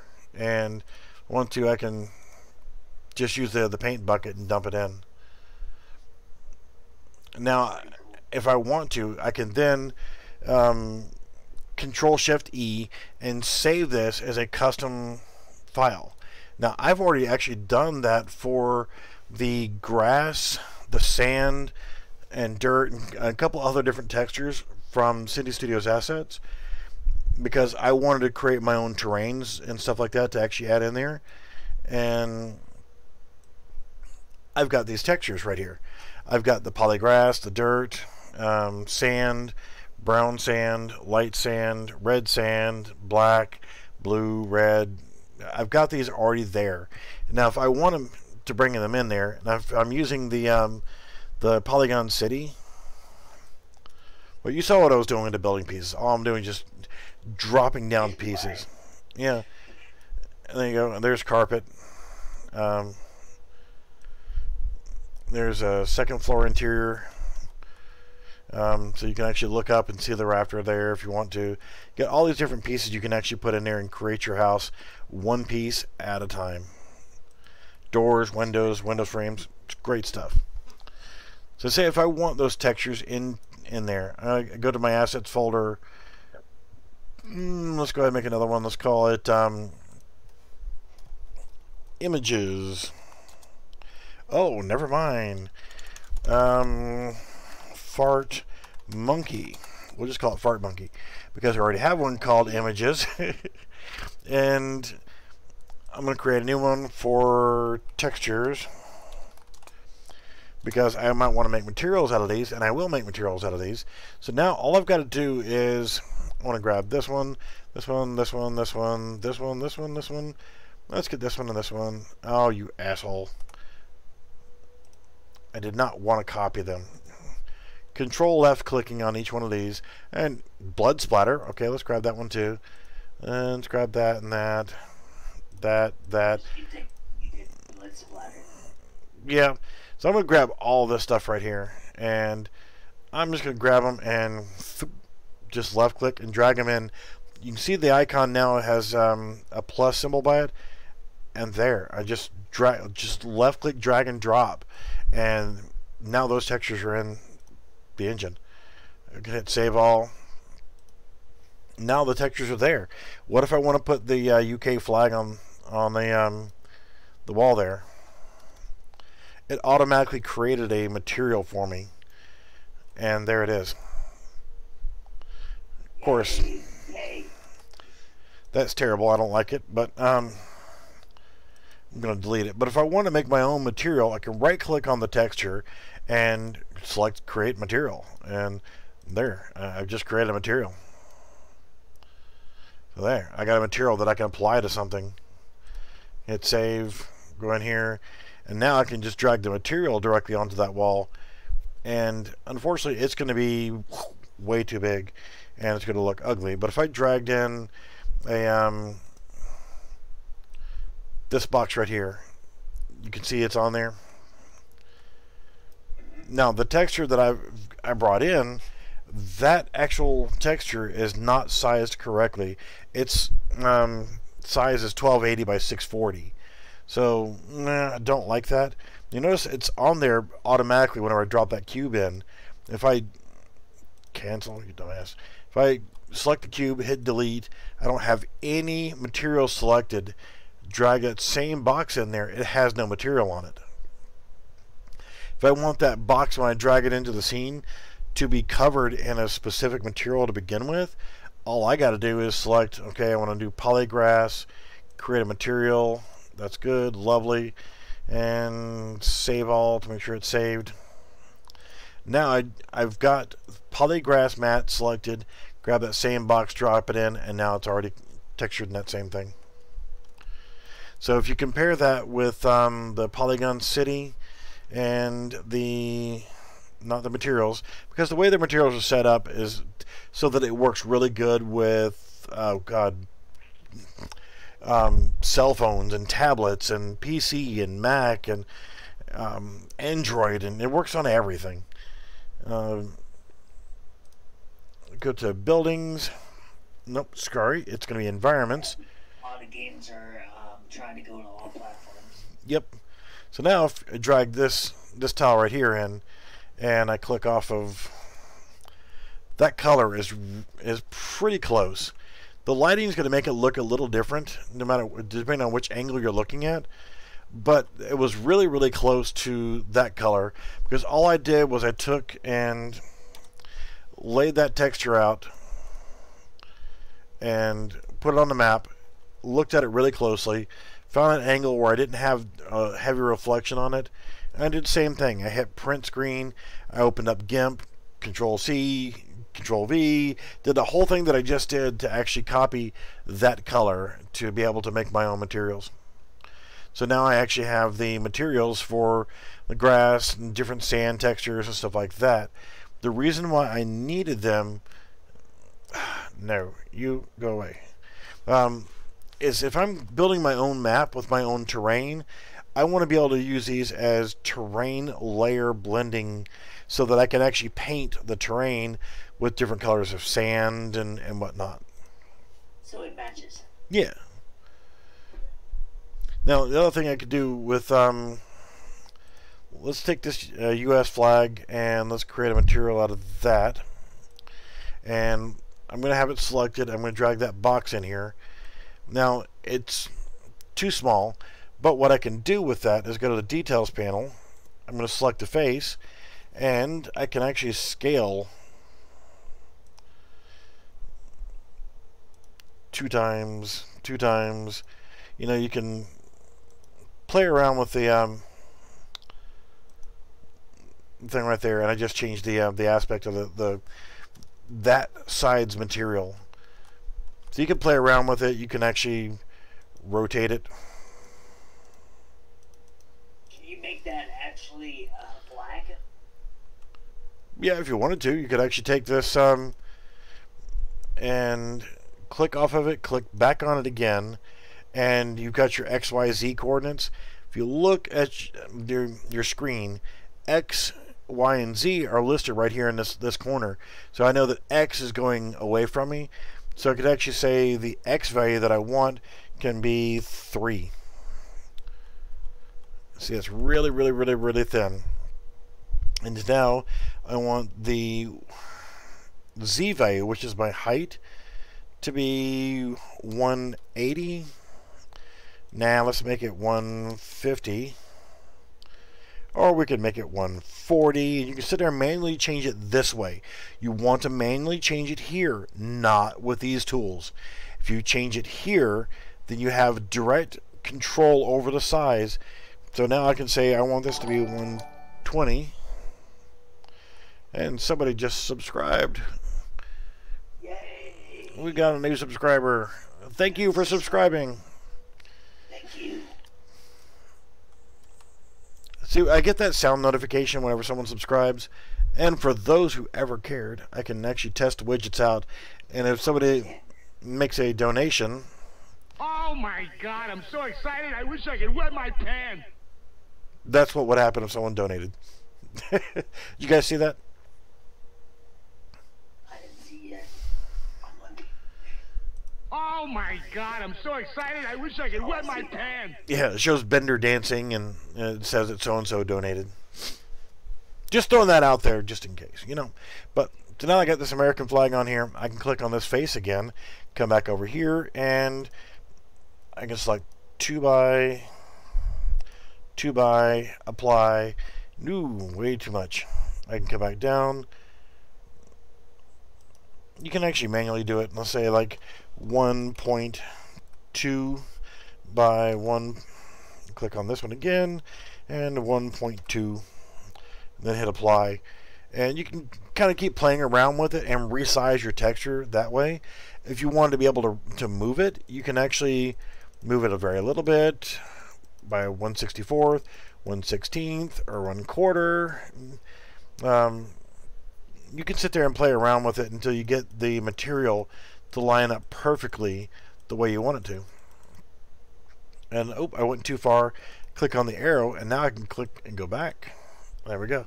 And now I can actually spend some time with it and actually change the um, the the dimensions of it. So if this was two, we'll say, hit apply. Ooh, that was wrong. So I can go back and put that at 1.2. Apply. Let's try two here. Apply. Okay, well now we're getting closer. 2.2 and you sit there and play around with it until you get your material to, to be just right. Right. So I can click on this one and get it to line up better with the edge. And that's close enough for government work. So there, we just built a fixed flag. Now, if you wanted this to actually be fabric, that's a whole different ballgame. And yes, I'd have to do the same thing on the other side. We set our thickness. But if you wanted that to actually be fabric, you could do this with all this stuff right here. It takes a while, and I'm not going to get into that tonight. Um, but that's that. Working with materials. I like the materials, like, they look really good in the game. Like, compared to pictures, they look really good in the game. Oh, yeah. Now, there's other things you can do as well. There's, um, layers. You can actually, if I wanted to create that blood splatter as a decal, I can create as a sprite. And I can take that new sprite and throw that into the map. And now it's like not where I want it to be, so I can rotate it. There we go. Too, right? Yes. See, I just drew that sprite onto the wall, and now if I click off from it, we have a blood splatter on the wall now. That's, that's cool. That'd be awesome Like haunted house, like my haunted house, that'd be awesome. Yes, you gotta have blood splatters everywhere. So, yeah. and that's the thing is you could actually go back into it and click on the sprite, and I don't want it to be that big, so let's um, let's make it smaller, or let's make it bigger. what if you want it on the floor? You know, you could do like um, take the same sprite now and just drag it right there. Now it's attached to the floor. So if I hit rotate and rotate it this way, do it 90 degrees, and I need to bring it up just a hair. Now if I hit play, I got a blood splatter on the floor. So freaking cool. that would work out for my haunted house. And so easy how hard was that? You know. It wasn't hard. It, the learning, you know, finding the information. Do you know how I figured that out? I just figured it out. Um, I'm going to grab that sprite. All I did was I drug in that texture right there, the blood splatter right there. And I grabbed that, I drug it in here, and that's what it looks like here. I right click, and then I come up to sprite actions, create Sprite. And know about the Sprite, to be honest. Oh, there's so much that you can learn. Um, so now all I gotta do is just rotate it 90 degrees, grab it. I just want to pick it up. I just wanted to um, right there. So now we hit play and we can walk right over it and it is now a blood splatter on the floor. You can actually, it's a little bit above the floor right now. So if you look at it and scroll up and look at the actual height, the floor is actually 130. So I want to put the height at 131. So now it should be like almost perfectly on the floor. You shouldn't step up whenever you step on a blood splatter. And you can and you can make it like um like you're walking over it, right? Like you could actually put sound to it if you wanted. Oh, absolutely. And here's the thing: is I'm going to go into. Um, eh, I'm not going to save any of this. Um, I'm going to go into the dungeon one because we already have all the spooky sounds and everything else. You could add a sound to it so freaking easy that um, there's a couple different ways you can actually add the sound of when I step on that blood, it needs to make a sound. So let's actually go in here, and again, we're going to go into my assets folder. We're going to create one called images. Inside there, I want to go ahead and create one called textures. I'm going to create another one called sprites because, you know, I'm that OCD. And I can create another one called materials. So now I want to go into my textures folder and I want to grab my file, just left click, drag it in here until the icon changes to a plus, let go, and it's there. And then I want to right click on it and I want to create it as a sprite. I'm going to move it to my sprite folder. Boom, that easy. Let's actually go into our map. mm, heartburn, gotta love it. Suck. I get it every day. Esophageal erosion. I eat a lot of pizza. Mm. Love pizza. Yeah, I want some now. Know, looking at that hamburger on the other screen. I'm a fat kid. I always think about food. I'm about food, okay? I'm a fat kid and I'm almost 50, so I'm either thinking about sex or food. And usually food is a lot easier to deal with. And a lot easier to get. I'm always thinking about scaring people. Yeah, well, that's always fun too. So let's go into my sprites folder and version number one. I can drag it in here. I can rotate it, place it down, and do that. However, I can also do a blueprint actor. Um, let's call this blood underscore splatter underscore one. So now I'm going to go in here. I'm going to open it up. Make sure it's butts over here so I can come back in here. I'm going to left click on that sprite. Come back in here. I'm going to add component. And let's see if it'll let us add a sprite in here. Right there. Whoa, that's huge. So let's go ahead and rotate it. We want to rotate it 90 degrees. So now we've got our blood splatter. Now what we need to do is unclick from there, click off from that so there's nothing selected here. I'm going to add a component and it's going to be a box collision. And from there, I don't care what it says or what it's called, doesn't matter. So it's box collision and now I need to kind of size it up to where it fits. I want you to go ahead and move it a little bit and I'm going to scale it a little bit also. And let's just shift it over some.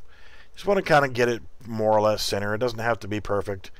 Um, so now we've got this on there. And let's go ahead and make it a little bit thinner because we don't want like huge. Right? Be bad. Yeah. So we just want to make sure that it's and that's below it. So we need to look to the side, make sure we're above. So we want to step on it. And now we want it to do something. So I'm going to compile and save. I'm going to go to I'm scared right here. Like blood splatter, like you hear blood like under your feet. you want to hear a squishy noise. Yeah. I just happen to have a squish noise right here. So let's actually right click on the squish noise, create a cue, and we'll let it be called squish underscore cue, not cure, cue. So now we have the squish cue. Open it up, and I want to I'm not going to let it be a, a, looping, so I'm going to come back over here. I'm going to override attenuation, and we'll leave it the way it is. We can play with the attenuation later. So now I'm just going to hit save, and then we hit play. we just hear this squishy sound like you just stepped in something squishy. So what I want to do now is I want to right click on box, add event, on component begin overlap. Come in here. Oh look, you've already got things already in here for me. Go away. Um, you don't need any of that stuff. All you need is your on component begin overlap.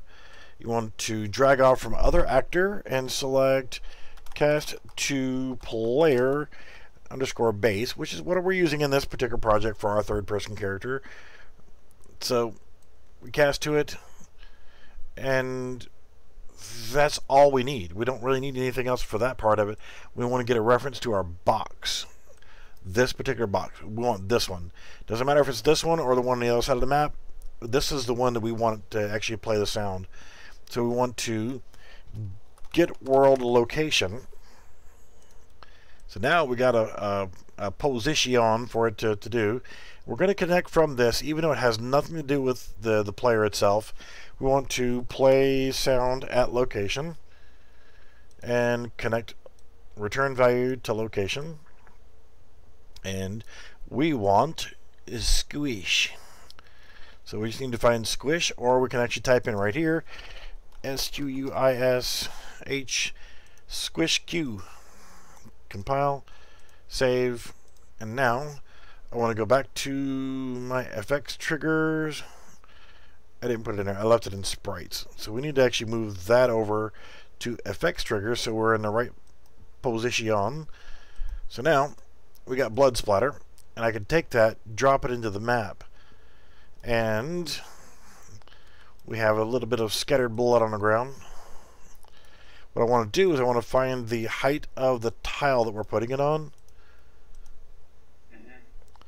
And we know that's our blood splatter. That's at 500 and this is at 480. It's visible. So let's actually take a look at it.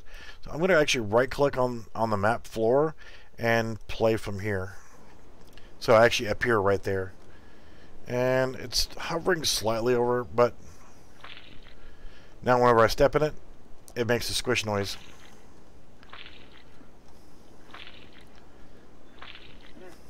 That's cool. Just that simple. Now, if that witch comes over here and she steps in it, it's not going to make the noise. It'll only make the noise whenever I step on it. That's cool.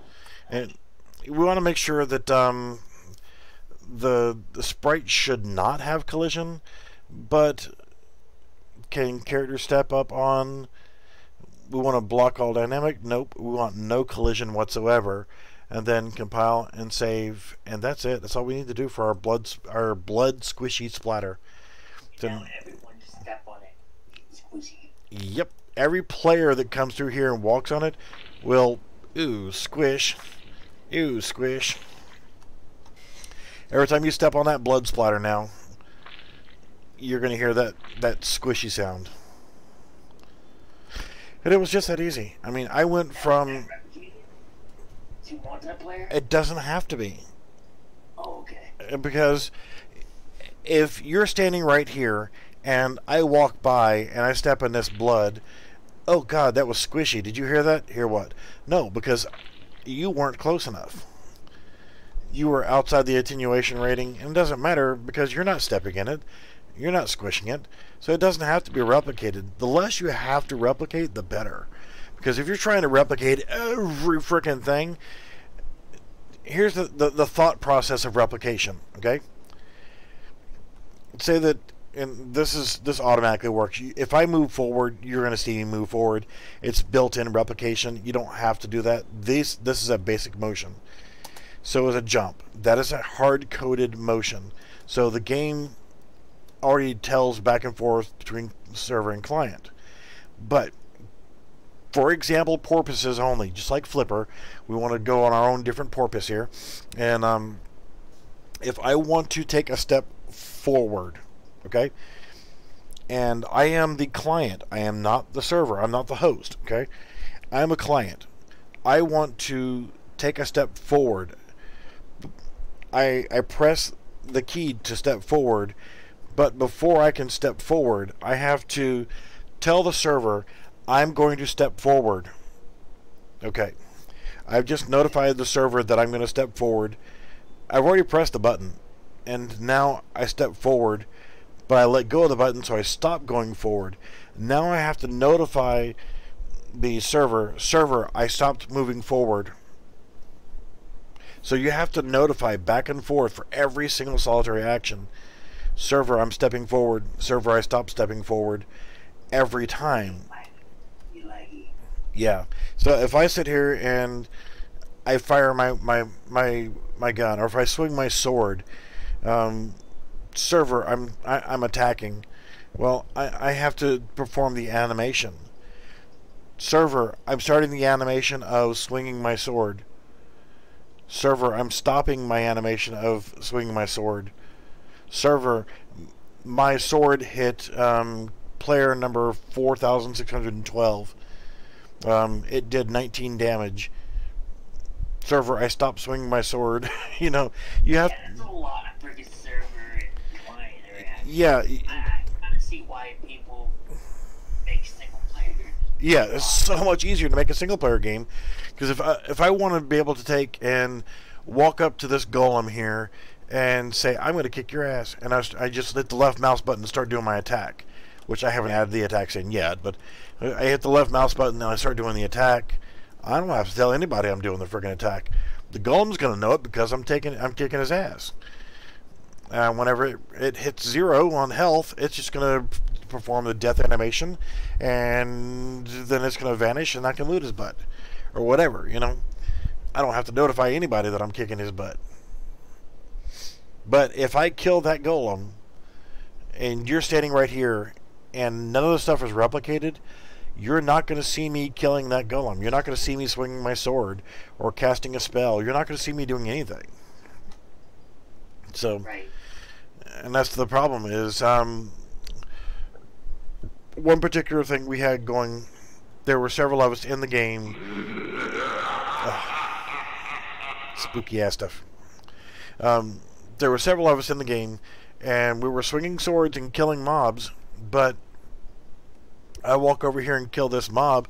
All you see is i walked over here and stopped. You don't see me swinging my sword. You don't see me attacking the mob because the way that the characters were set up to roam, if you look at the um, these characters I've got roaming around inside here, um, those damn sound files, little spooky sound files. Just because I see that there is a witch standing right here in front of me, you may not see the witch standing there in front of me because they're not replicated whenever you look at the NPC files, and I, just made basic NPCs. I didn't get carried away with them. Um, go to my characters, go to NPC, and if you look at the um, the witch, for example, if you open up the full editor, you can see that what is this crap right here? There's nothing in here but just a couple little things, because these are child actors of the base. So if I look at the NPC base, this is where all the the goodies are. Everything else is a child from this base file. What I'm doing, yep.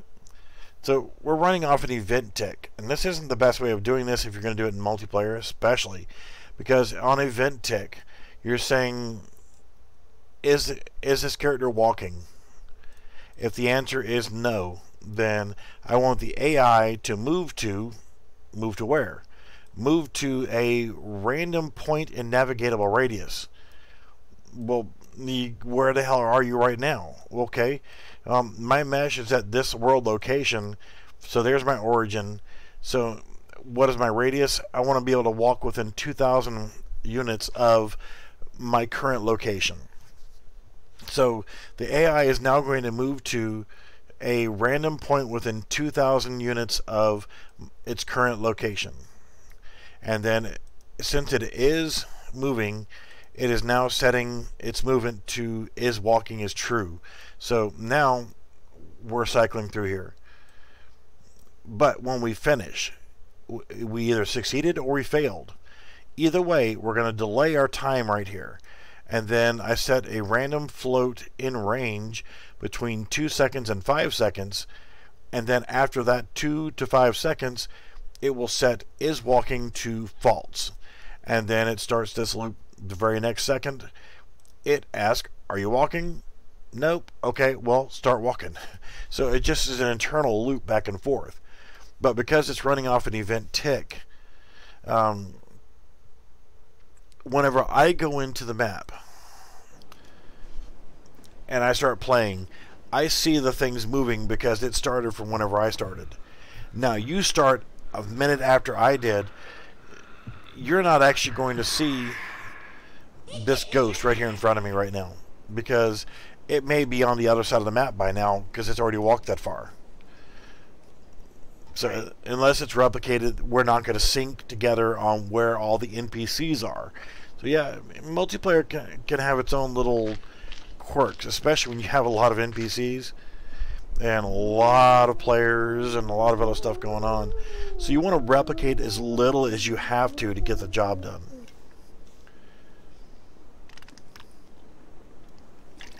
I hope it makes sense. I see that. Um, I think in my haunted ass, uh, if I was gonna make one in my world or whatever, I think I would make like some possession. Possession. I think that'd be pretty cool. Yep, that's that's very possible to do.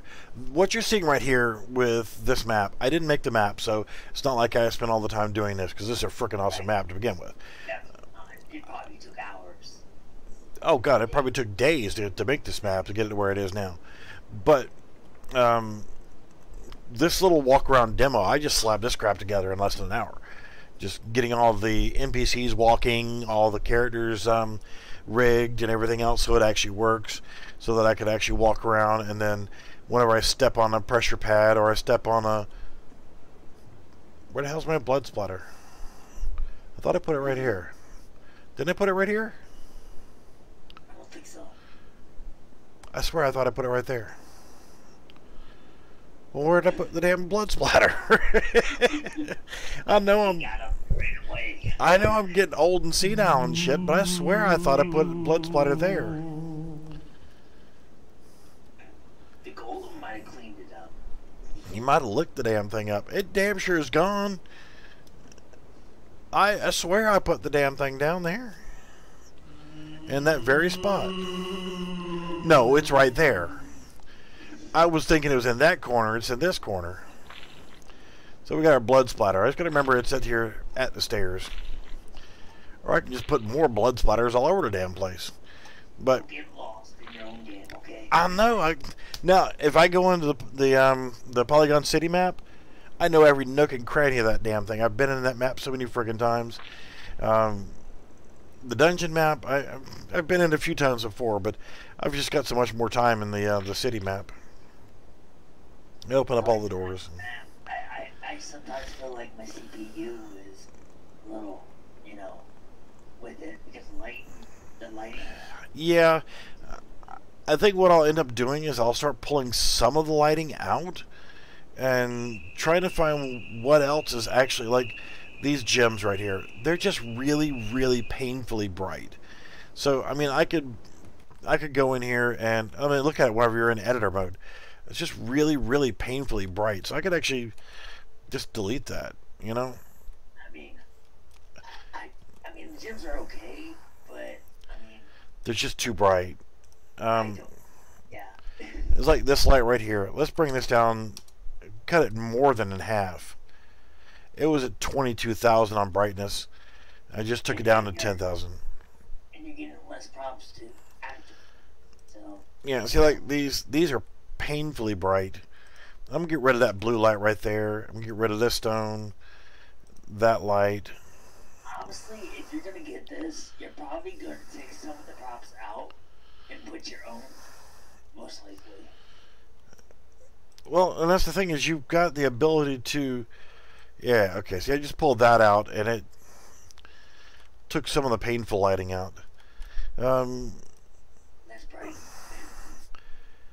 And see, like this right here, this is there's just too too much brightness in here.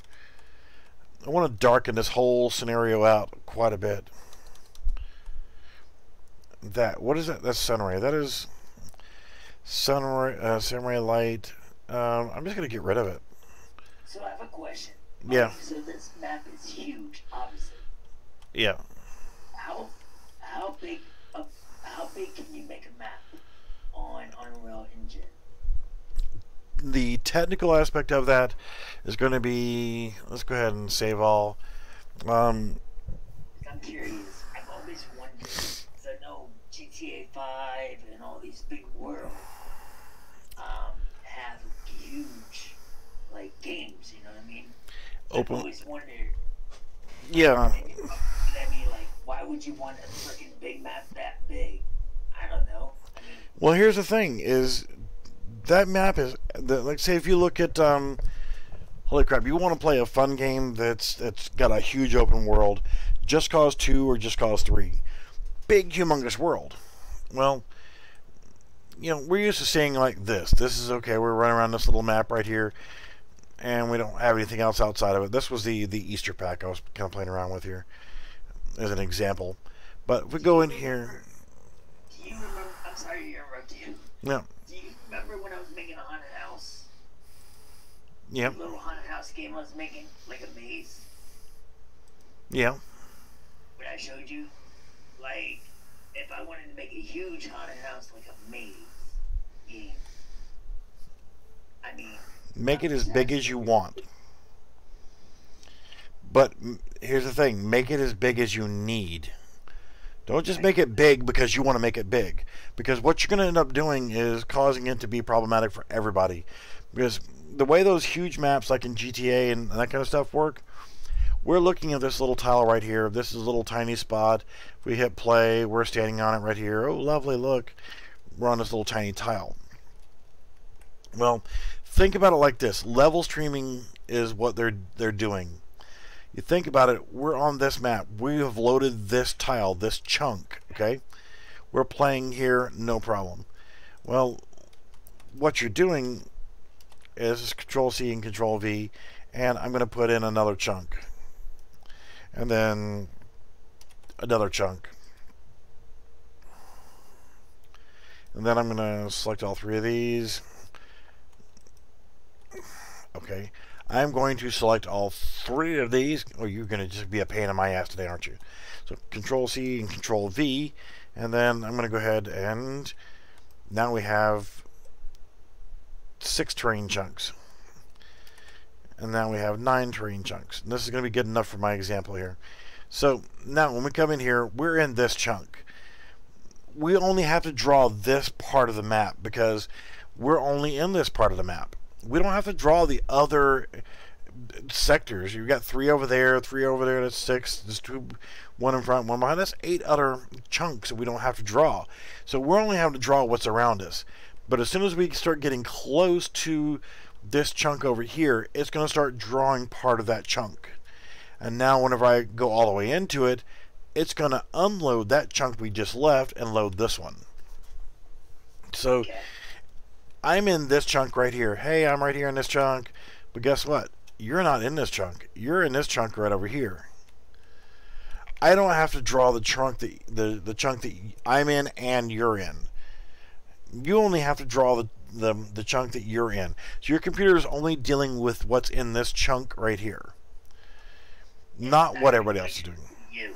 Yes, it's only you. You're the you're only drawing what you need to draw. Now, when you go to this one right over here, as soon as you get within a certain proximity, it will then pop up and start loading that chunk. And then when you cross into it and you're not looking back anymore, it's going to undraw that other chunk and focus you on what you're in, in front of. So there's the process where it does that in actual tiles like this, and there's also the radius. So I'm here and I'm drawing this radius. I take a step forward and it draws a 10 foot radius around me and then I move up it moves another it just transitions to a buffer zone around you. But the easiest way to do it is to have it set in sections or chunks like that. And you can actually tra travel back and forth between them seamlessly but it's going to draw and undraw things as it needs to to only put into your computer what you actually need. Um, it's like um, if there was a, a, mountain in this chunk right here. if I'm standing right here, I'm like, oh my god, that's a big mountain. But if I, I go over here and I look at it, it changes the level of detail. It's not drawing every single little nook and cranny and crevice and everything else. It redraws it as less polygons. So it's less of a stress on your computer. So now I go even farther away, and it even reduces the, the polygons even more, and it may even undraw it. It may be, may even take it out of your, your your your data bank, so to speak, and not even draw that because you're not even close enough to see that friggin' mountain. But as I start getting closer, oh, there it is.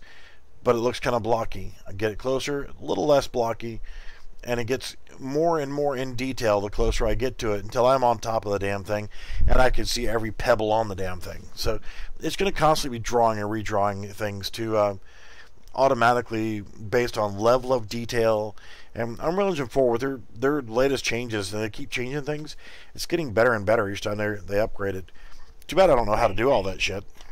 Um, so B, Mhm. let's let's talk about our plans we're thinking about for our city. Um, do you want to? Yeah, we'll cover that really quickly one more time, and then I am getting out of here because it is almost 6 a.m. I And thinking about using, like, I understand you have to go, you have to get to bed, yep, and remember tiptoe through your window. But anyway, I have a 1911 sitting right here. I'm a gun guy. so the thing about it is, I like Synty Studio. Yes. 100%. Mhm. I like the Wolfpack. I haven't seen it all. Um, but we want it. I think a roleplay world would be awesome with all their packs. Yeah, and that's that's what I plan on doing is part of now I got the Polygon Dungeon thing going and the um, the Poly Life project going, and I got other ones where it's just kind of centralized between um, the city type or the you know the, the town. And but what I want to do is incorporate all of them into a single solitary and I've already done it once and deleted it and lost it. But um, I want to have a central hub to where if you want to be in in the the western version or if you want to be in the which you want to see the war pack I'll show you the war pack I want to see the Warpack. I, I mean, I want to see what potential we can do. How about this? Um, I have the demo. You want to see what it looks like? I forgot. Yes, I can go and Discord, right? go right there on my Discord. And do I have it on there? Um, uh, try before you buy for the Polygon Town, Polygon Nature, Sci-Fi, City. Um, yes, I have in the BBG demos. The second one down on the list is a World War II, which is a WW2, and it will look just like this. I should go in here and let's close Unreal Engine 4 and the Epic Launcher, and this is what you're going to see. Let me download it real quick. I am actually loading it right now as we spoke. So, Download it now. Yeah, it's not a very huge file either. So, uh, this is what you're going to get when you, you download that demo. My little cheesy uh, menu system that works awesome, by the way. My Steam username and avatar in upper right hand corner. Nice little background music. And I'm going to go into multiplayer. I'm going to host a game. And I'm going to say Bart's game. And then I'm going to click on make. And oh wait, this isn't a try before you buy demo. Uh-oh. Oh, what does that mean? Oh, that means I've got an M1 Garand in my hands and I can shoot it. Right click to go into combat mode. Holy crap, there's a Tiger tank right in front of me. Oh, you tricked us. I can actually reload.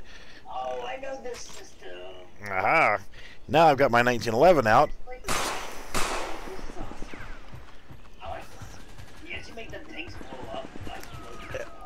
You know, if I had more help from people to help do things like that, then I could get more accomplished. But I'm trying to work by myself. And you know, I love the Jeep. Absolutely love the Jeep. This war pack is pretty awesome. You actually go inside? Um, yeah, yeah. If you have you already finished downloading? Oh, you're in, you're in the other. I'm in the World War II one. Oh, it's. Wait, COG WW2. we can fight each other? Absolutely, it's multiplayer. However, I'm going to go over here to this little hidden weapons crate, and I am going to.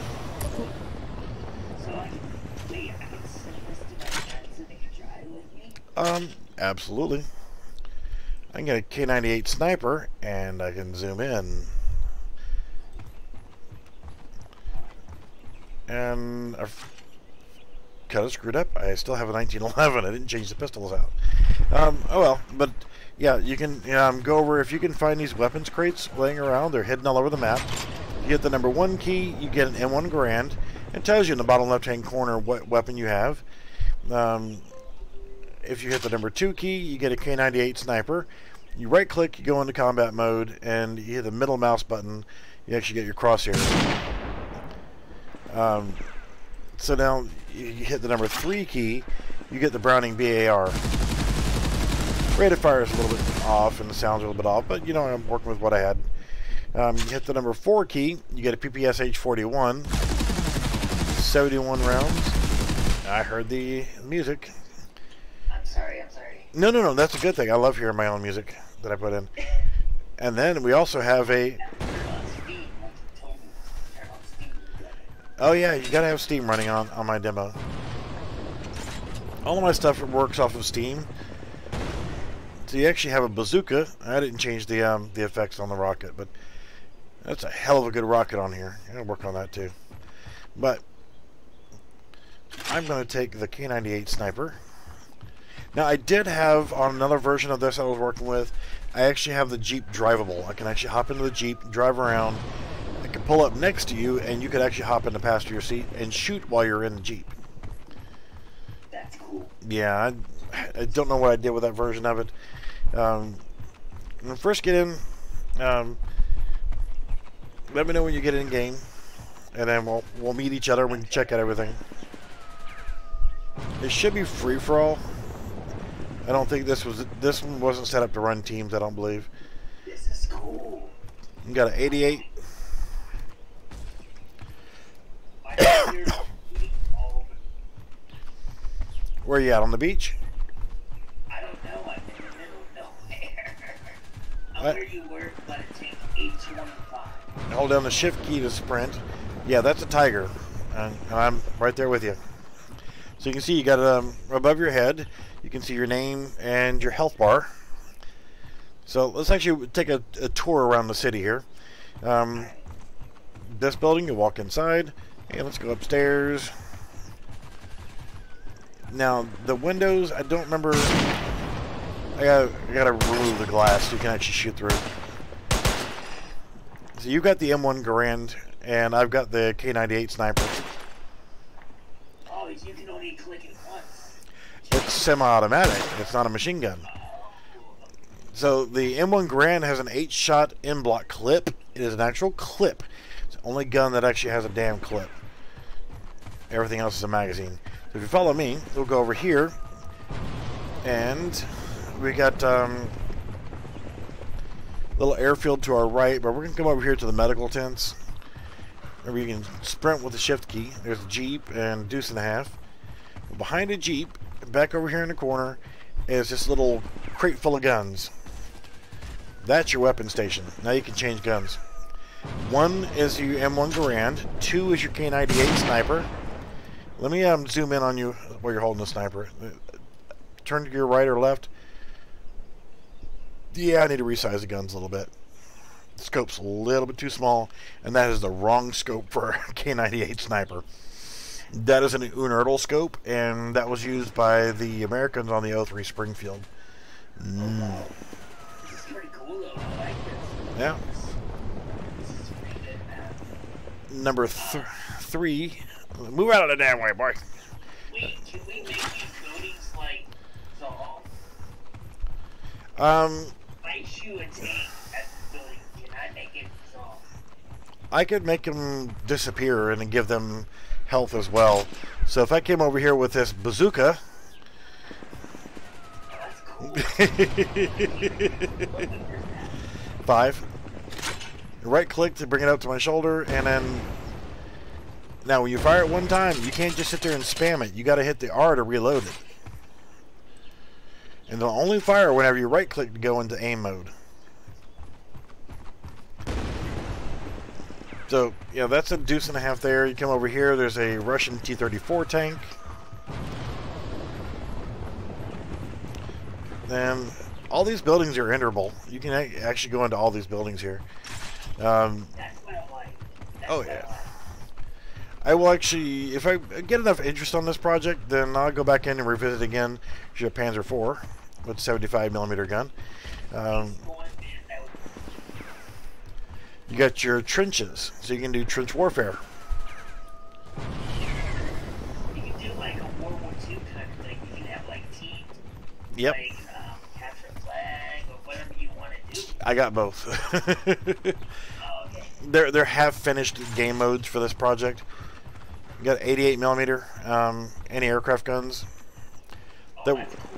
He's working. That would be awesome. I I can make them work, but I'm just I haven't decided if I want to make them actually do the recoil mechanism and everything else too. Um, Like I said, I'm willing to help you know that. Em- But M4 Sherman, got a half track. Now there's no gun on top, but I can put a heavy machine gun, uh, M2 50 caliber machine gun. I can put it on on top of the uh, the half track, um, and fix collision so you can actually jump into the back correctly. Because the collisions are a little bit off, as you can see, like standing up in the air instead of being inside the back. Same thing for the half track. it's got to know where to jump, you know. Yeah, you'll hear like bombs and, and gunshots going off. Now, the animations on the tank, I haven't worked out a good animation um, system for the tanks yet, but the tracks work for the most part. You know, the wheels will actually turn. You got these bunkers as well. You can go inside these bunkers.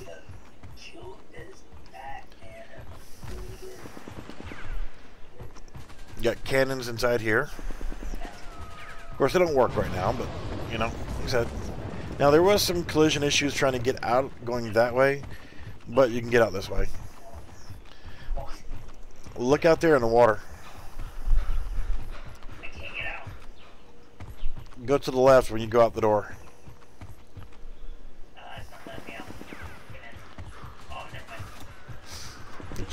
Check out the, out here in the water. Um, if you want them to, just got to make them work. Um, the the guns will turn and elevate and everything. You got a destroyer, you got a submarine, and you got a battleship. It's more of a heavy cruiser, but yeah, you can go down. You got a couple areas where you can actually cross over the uh, the the berm there, and the wire. And of course, with the water, water is not functional, so you can just walk over here. If you go too far, you'll fall off the world, so I wouldn't recommend it. So, That memory is the history. Yeah. oh yeah, because I mean, you got like the craters, you got the um, tank traps, and You can do like a game mode where you have people like ride in boats. Start right here. Like, well, yeah, because you got landing craft like right over here. There's landing crafts.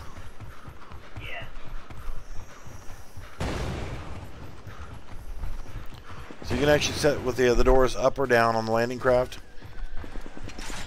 So you can actually um, start in the landing craft. Whenever the door drops, you can haul ass and get out. And you got you can have the Germans up here in the gun towers trying to, to mow you down before you get up. Yeah. So this is just a little fun demo that's uh, free for all. You know, the collisions still need a little tweaking. A few other things that need some tweaking. You got the road that goes up and down here, more flat guns. Um, this is the, the gun turrets from here. Yeah, these bunkers over here, which are kind of cool too. Um, you can actually go down inside of them. nothing in them, but you can go inside there and you can go right here, climb up on the wall, snipe from the tower, hit C key to, to crouch, even though the clipping on the weapons is a little bit weird. Bazooka sticking out of my back there. and you haven't seen the town yet either. I like this. This is really good. I studios, man. Ow. Ow. Wow. So we can come over here and go across the bridge and actually um, check out the town. Um, so there is actually a, a little small airstrip over here. And let's see if there's any planes still over there. Oh, there's the German half-track. So you can actually put an MG42 on there. Just didn't put it on there yet. No. You can make a map um, 25 miles by 25 miles if you want. You can make it. You can make it as big as you want, but remember, you got to make it load correctly. How about some Stukas? Got to fix the collisions on them. They're they're they're still kind of buggy on the collisions. Um. So the town over here, you can actually go in uh, quite a few of the buildings. Holding down the shift key for the uh, sprint.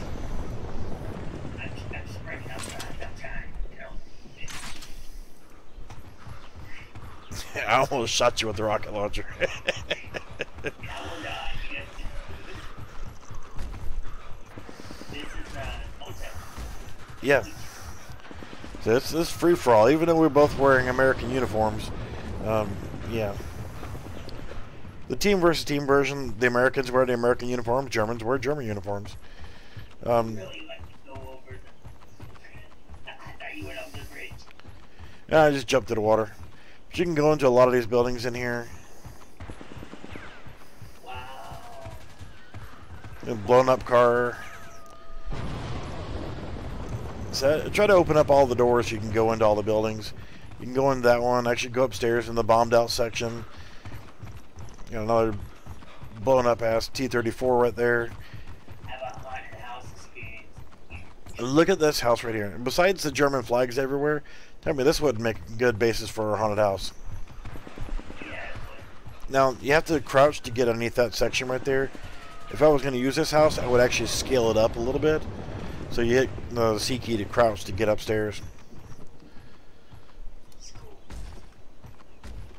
You know, do the same thing to get back out. It's crouch just long enough to get out. But I would scale that up just so you could be able to get in and out of that section there. Like this, where you got the bombed out section, you can come in here, go upstairs, and fight from the blown out section.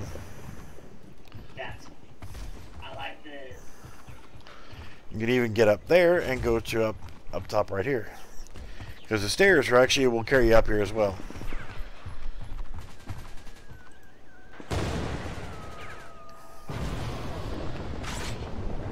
It's cool, right? And then you got like debris piles and stuff like that you can put all over the city. Um, this war pack is actually pretty damn cool. Um, oh yeah. You know, I, I debated on it because of that poor old Me 109 didn't quite make it, did he?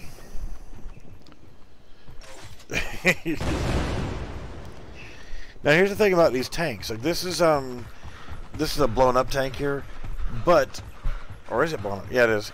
Um, just because those tanks out there on the beach were green, don't mean that's the only way that they can work. You can actually set them up to be camo like that as well.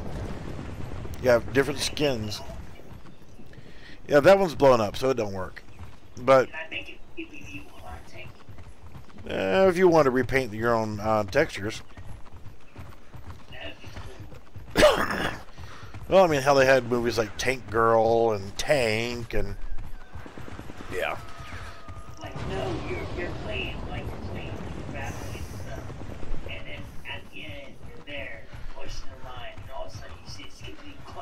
you got tigers to the left and Panzer IVs coming across the hill, and here comes Skippy in the the, the Skippy tank.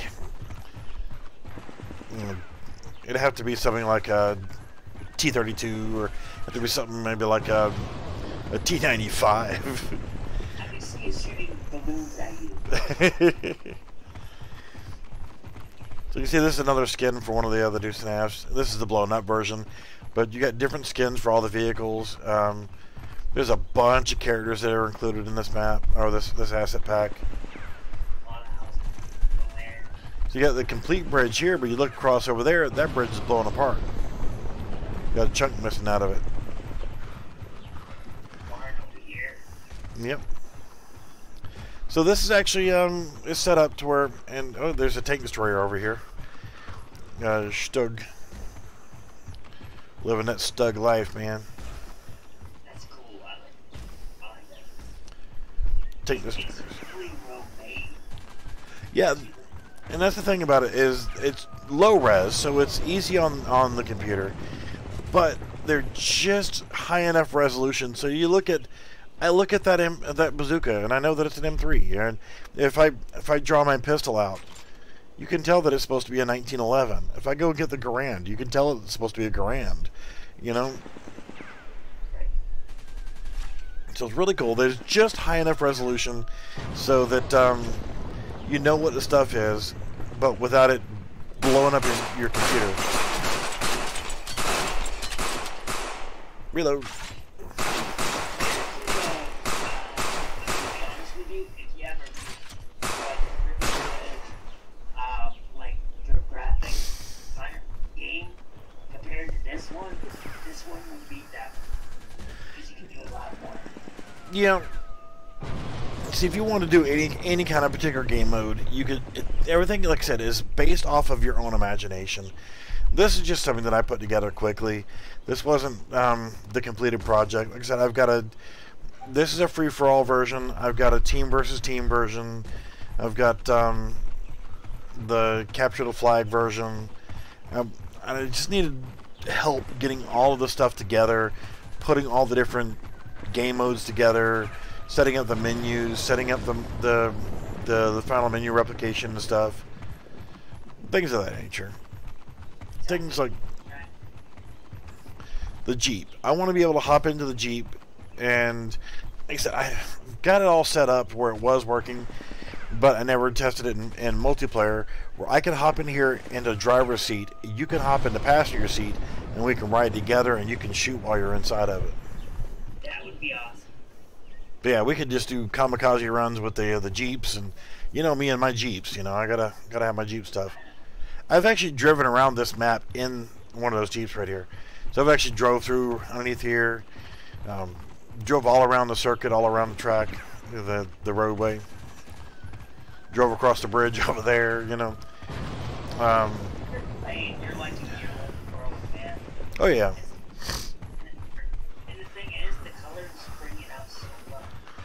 I like that the the colors are they're just rich enough to to kind of bring you into it, but they're not shiny. Some games that I get into are just absolutely shiny. Now, if you look, this was supposed to be a demonstration map for their asset pack. This wasn't a completed map. You can look right over here. You can see this underneath this section of, of roadway, this dirt roadway, and you can see that there's nothing underneath it. So that's why I created the, the, the textures and materials that I could actually build the terrain to kind of fill in underneath there to hide gaps like that. So if you did see underneath it, you wouldn't see anything.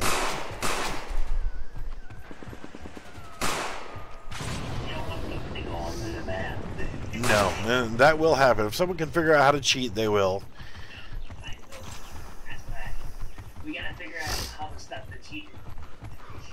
Yeah. I, I think we should have a jail system. Put them in jail. Well, that that's already been talked about once before on here, and that's actually the um, the game will have in-game moderators who will be online at all times. You can go ahead and kill me if you want to. Sure. Yeah, Any last words? yeah. Draw. It's okay. Your window.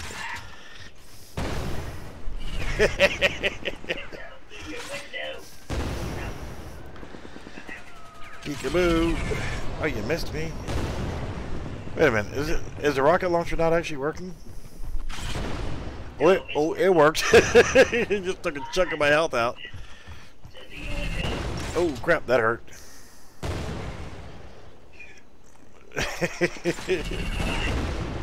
Oh, I caught it too. Got about two thirds of my health gone.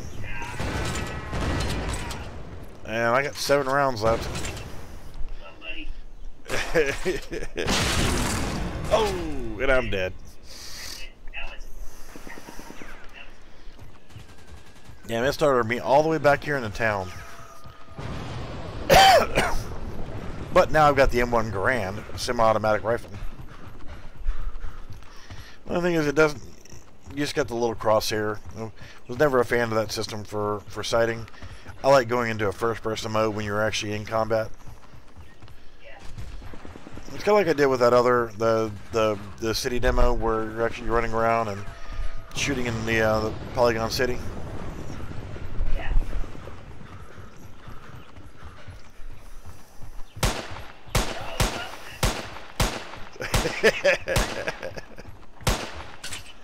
Oh, reload.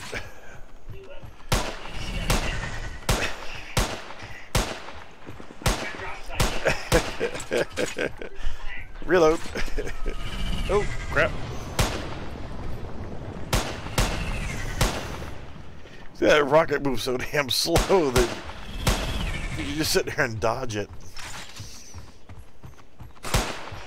Oh, that was a headshot, wasn't it?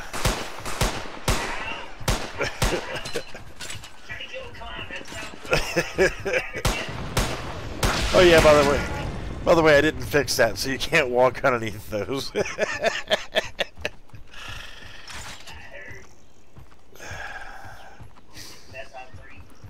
yeah. You want a chance to, to change your weapons?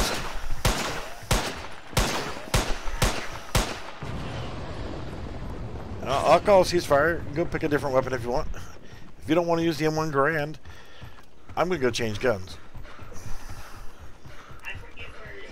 It's over here behind the um, the medical tents and the jeep. Yeah, I've spent a few few minutes out here, kind of um, playing around with it. I got the Browning BAR.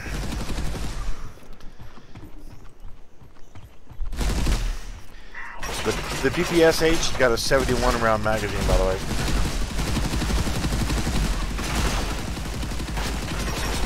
Actually, I have to reload.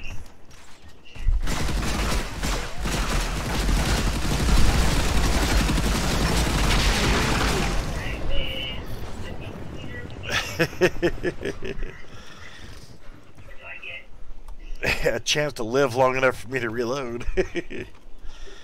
Remember where all the other um, the ammo crates are. I put other ammo crates around town in, in different areas. I just don't remember where they are. I haven't played this in, in a little while.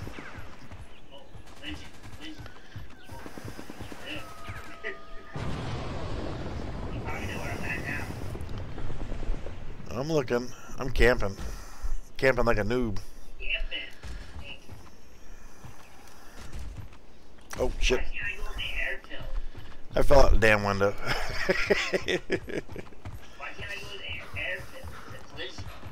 uh, well, yeah, I might not have fixed all the collisions. I know I didn't fix the. Uh, yeah, I didn't. I didn't fix the uh, the Stukas because they don't. I, I didn't make the planes work in this one.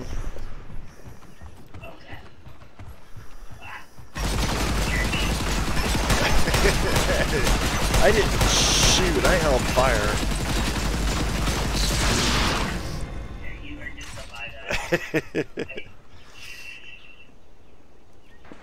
P key, by the way, for anybody watching, P key is the um, the key to revive, to respawn.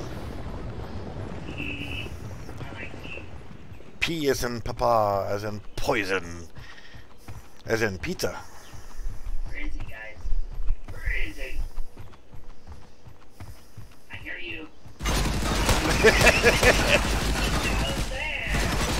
Fall out the window much? See, fighting a um, a losing battle here because you got a machine gun and, and because I have to get by you to get to the uh, the switch. I don't remember where the other weapon uh, boxes are. Keep trying to sprint and have my rifle up. You can't sprint while you're you're aiming. Ah, damn it! You can't have your pistol out either.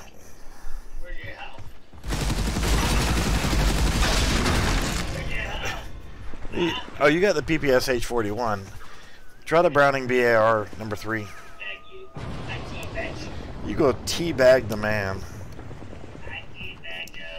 Shit. I'm teabagged by a clown. Well, hopefully it was some Earl Grey tea, so.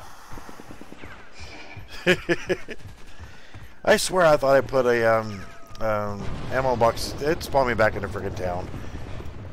I thought I had ammo crates over here too.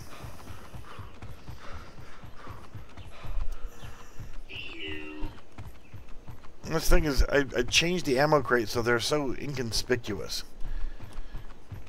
And I did. There's one right here in the um, the German headquarters.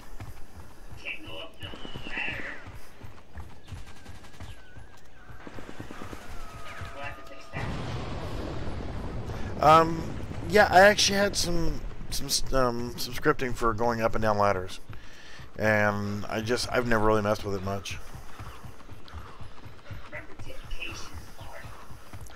Well, since you know if you you replicate enough stuff, it just becomes second nature.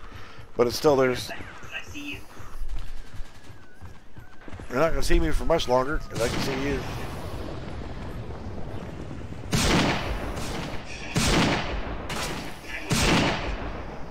You, yeah, but you gotta have a well, you gotta have the uh, the weapon shouldered at least.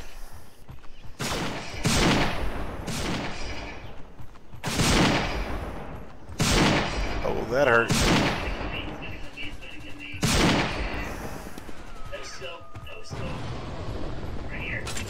Oh shit! I gotta reload.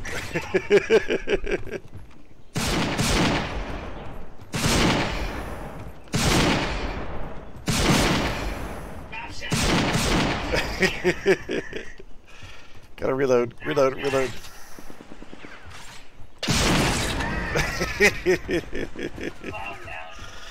You can only trick the old guy for a little bit too long.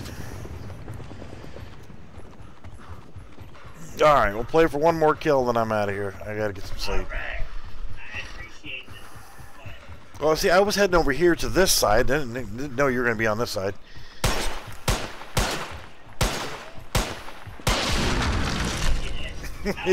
I was changing pistols.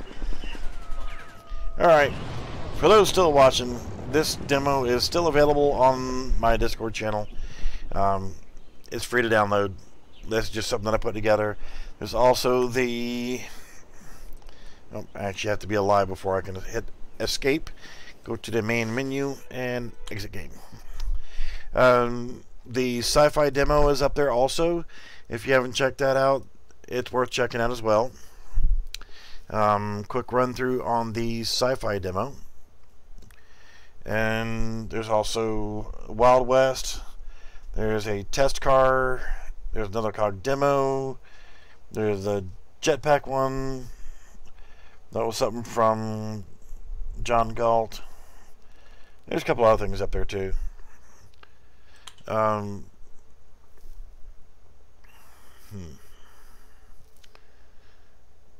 All right, so this one wasn't really completed, but it was. I put it up there anyway. You've got um, just some random running around guys. I didn't fix all the collisions on the map. The, the drones are kind of bugged. You know, you can't kill the drones. But you got um, this is the, the was playing around with some of this on the city map, was just kind of expanding it around a little bit. It's supposed to be like this. This city got expanded into the uh, the new version. So this was this was kind of a mix of a couple different assets. Um, kind of like upgrading. yeah, this isn't the um, the regular one. This is um, something different. Um,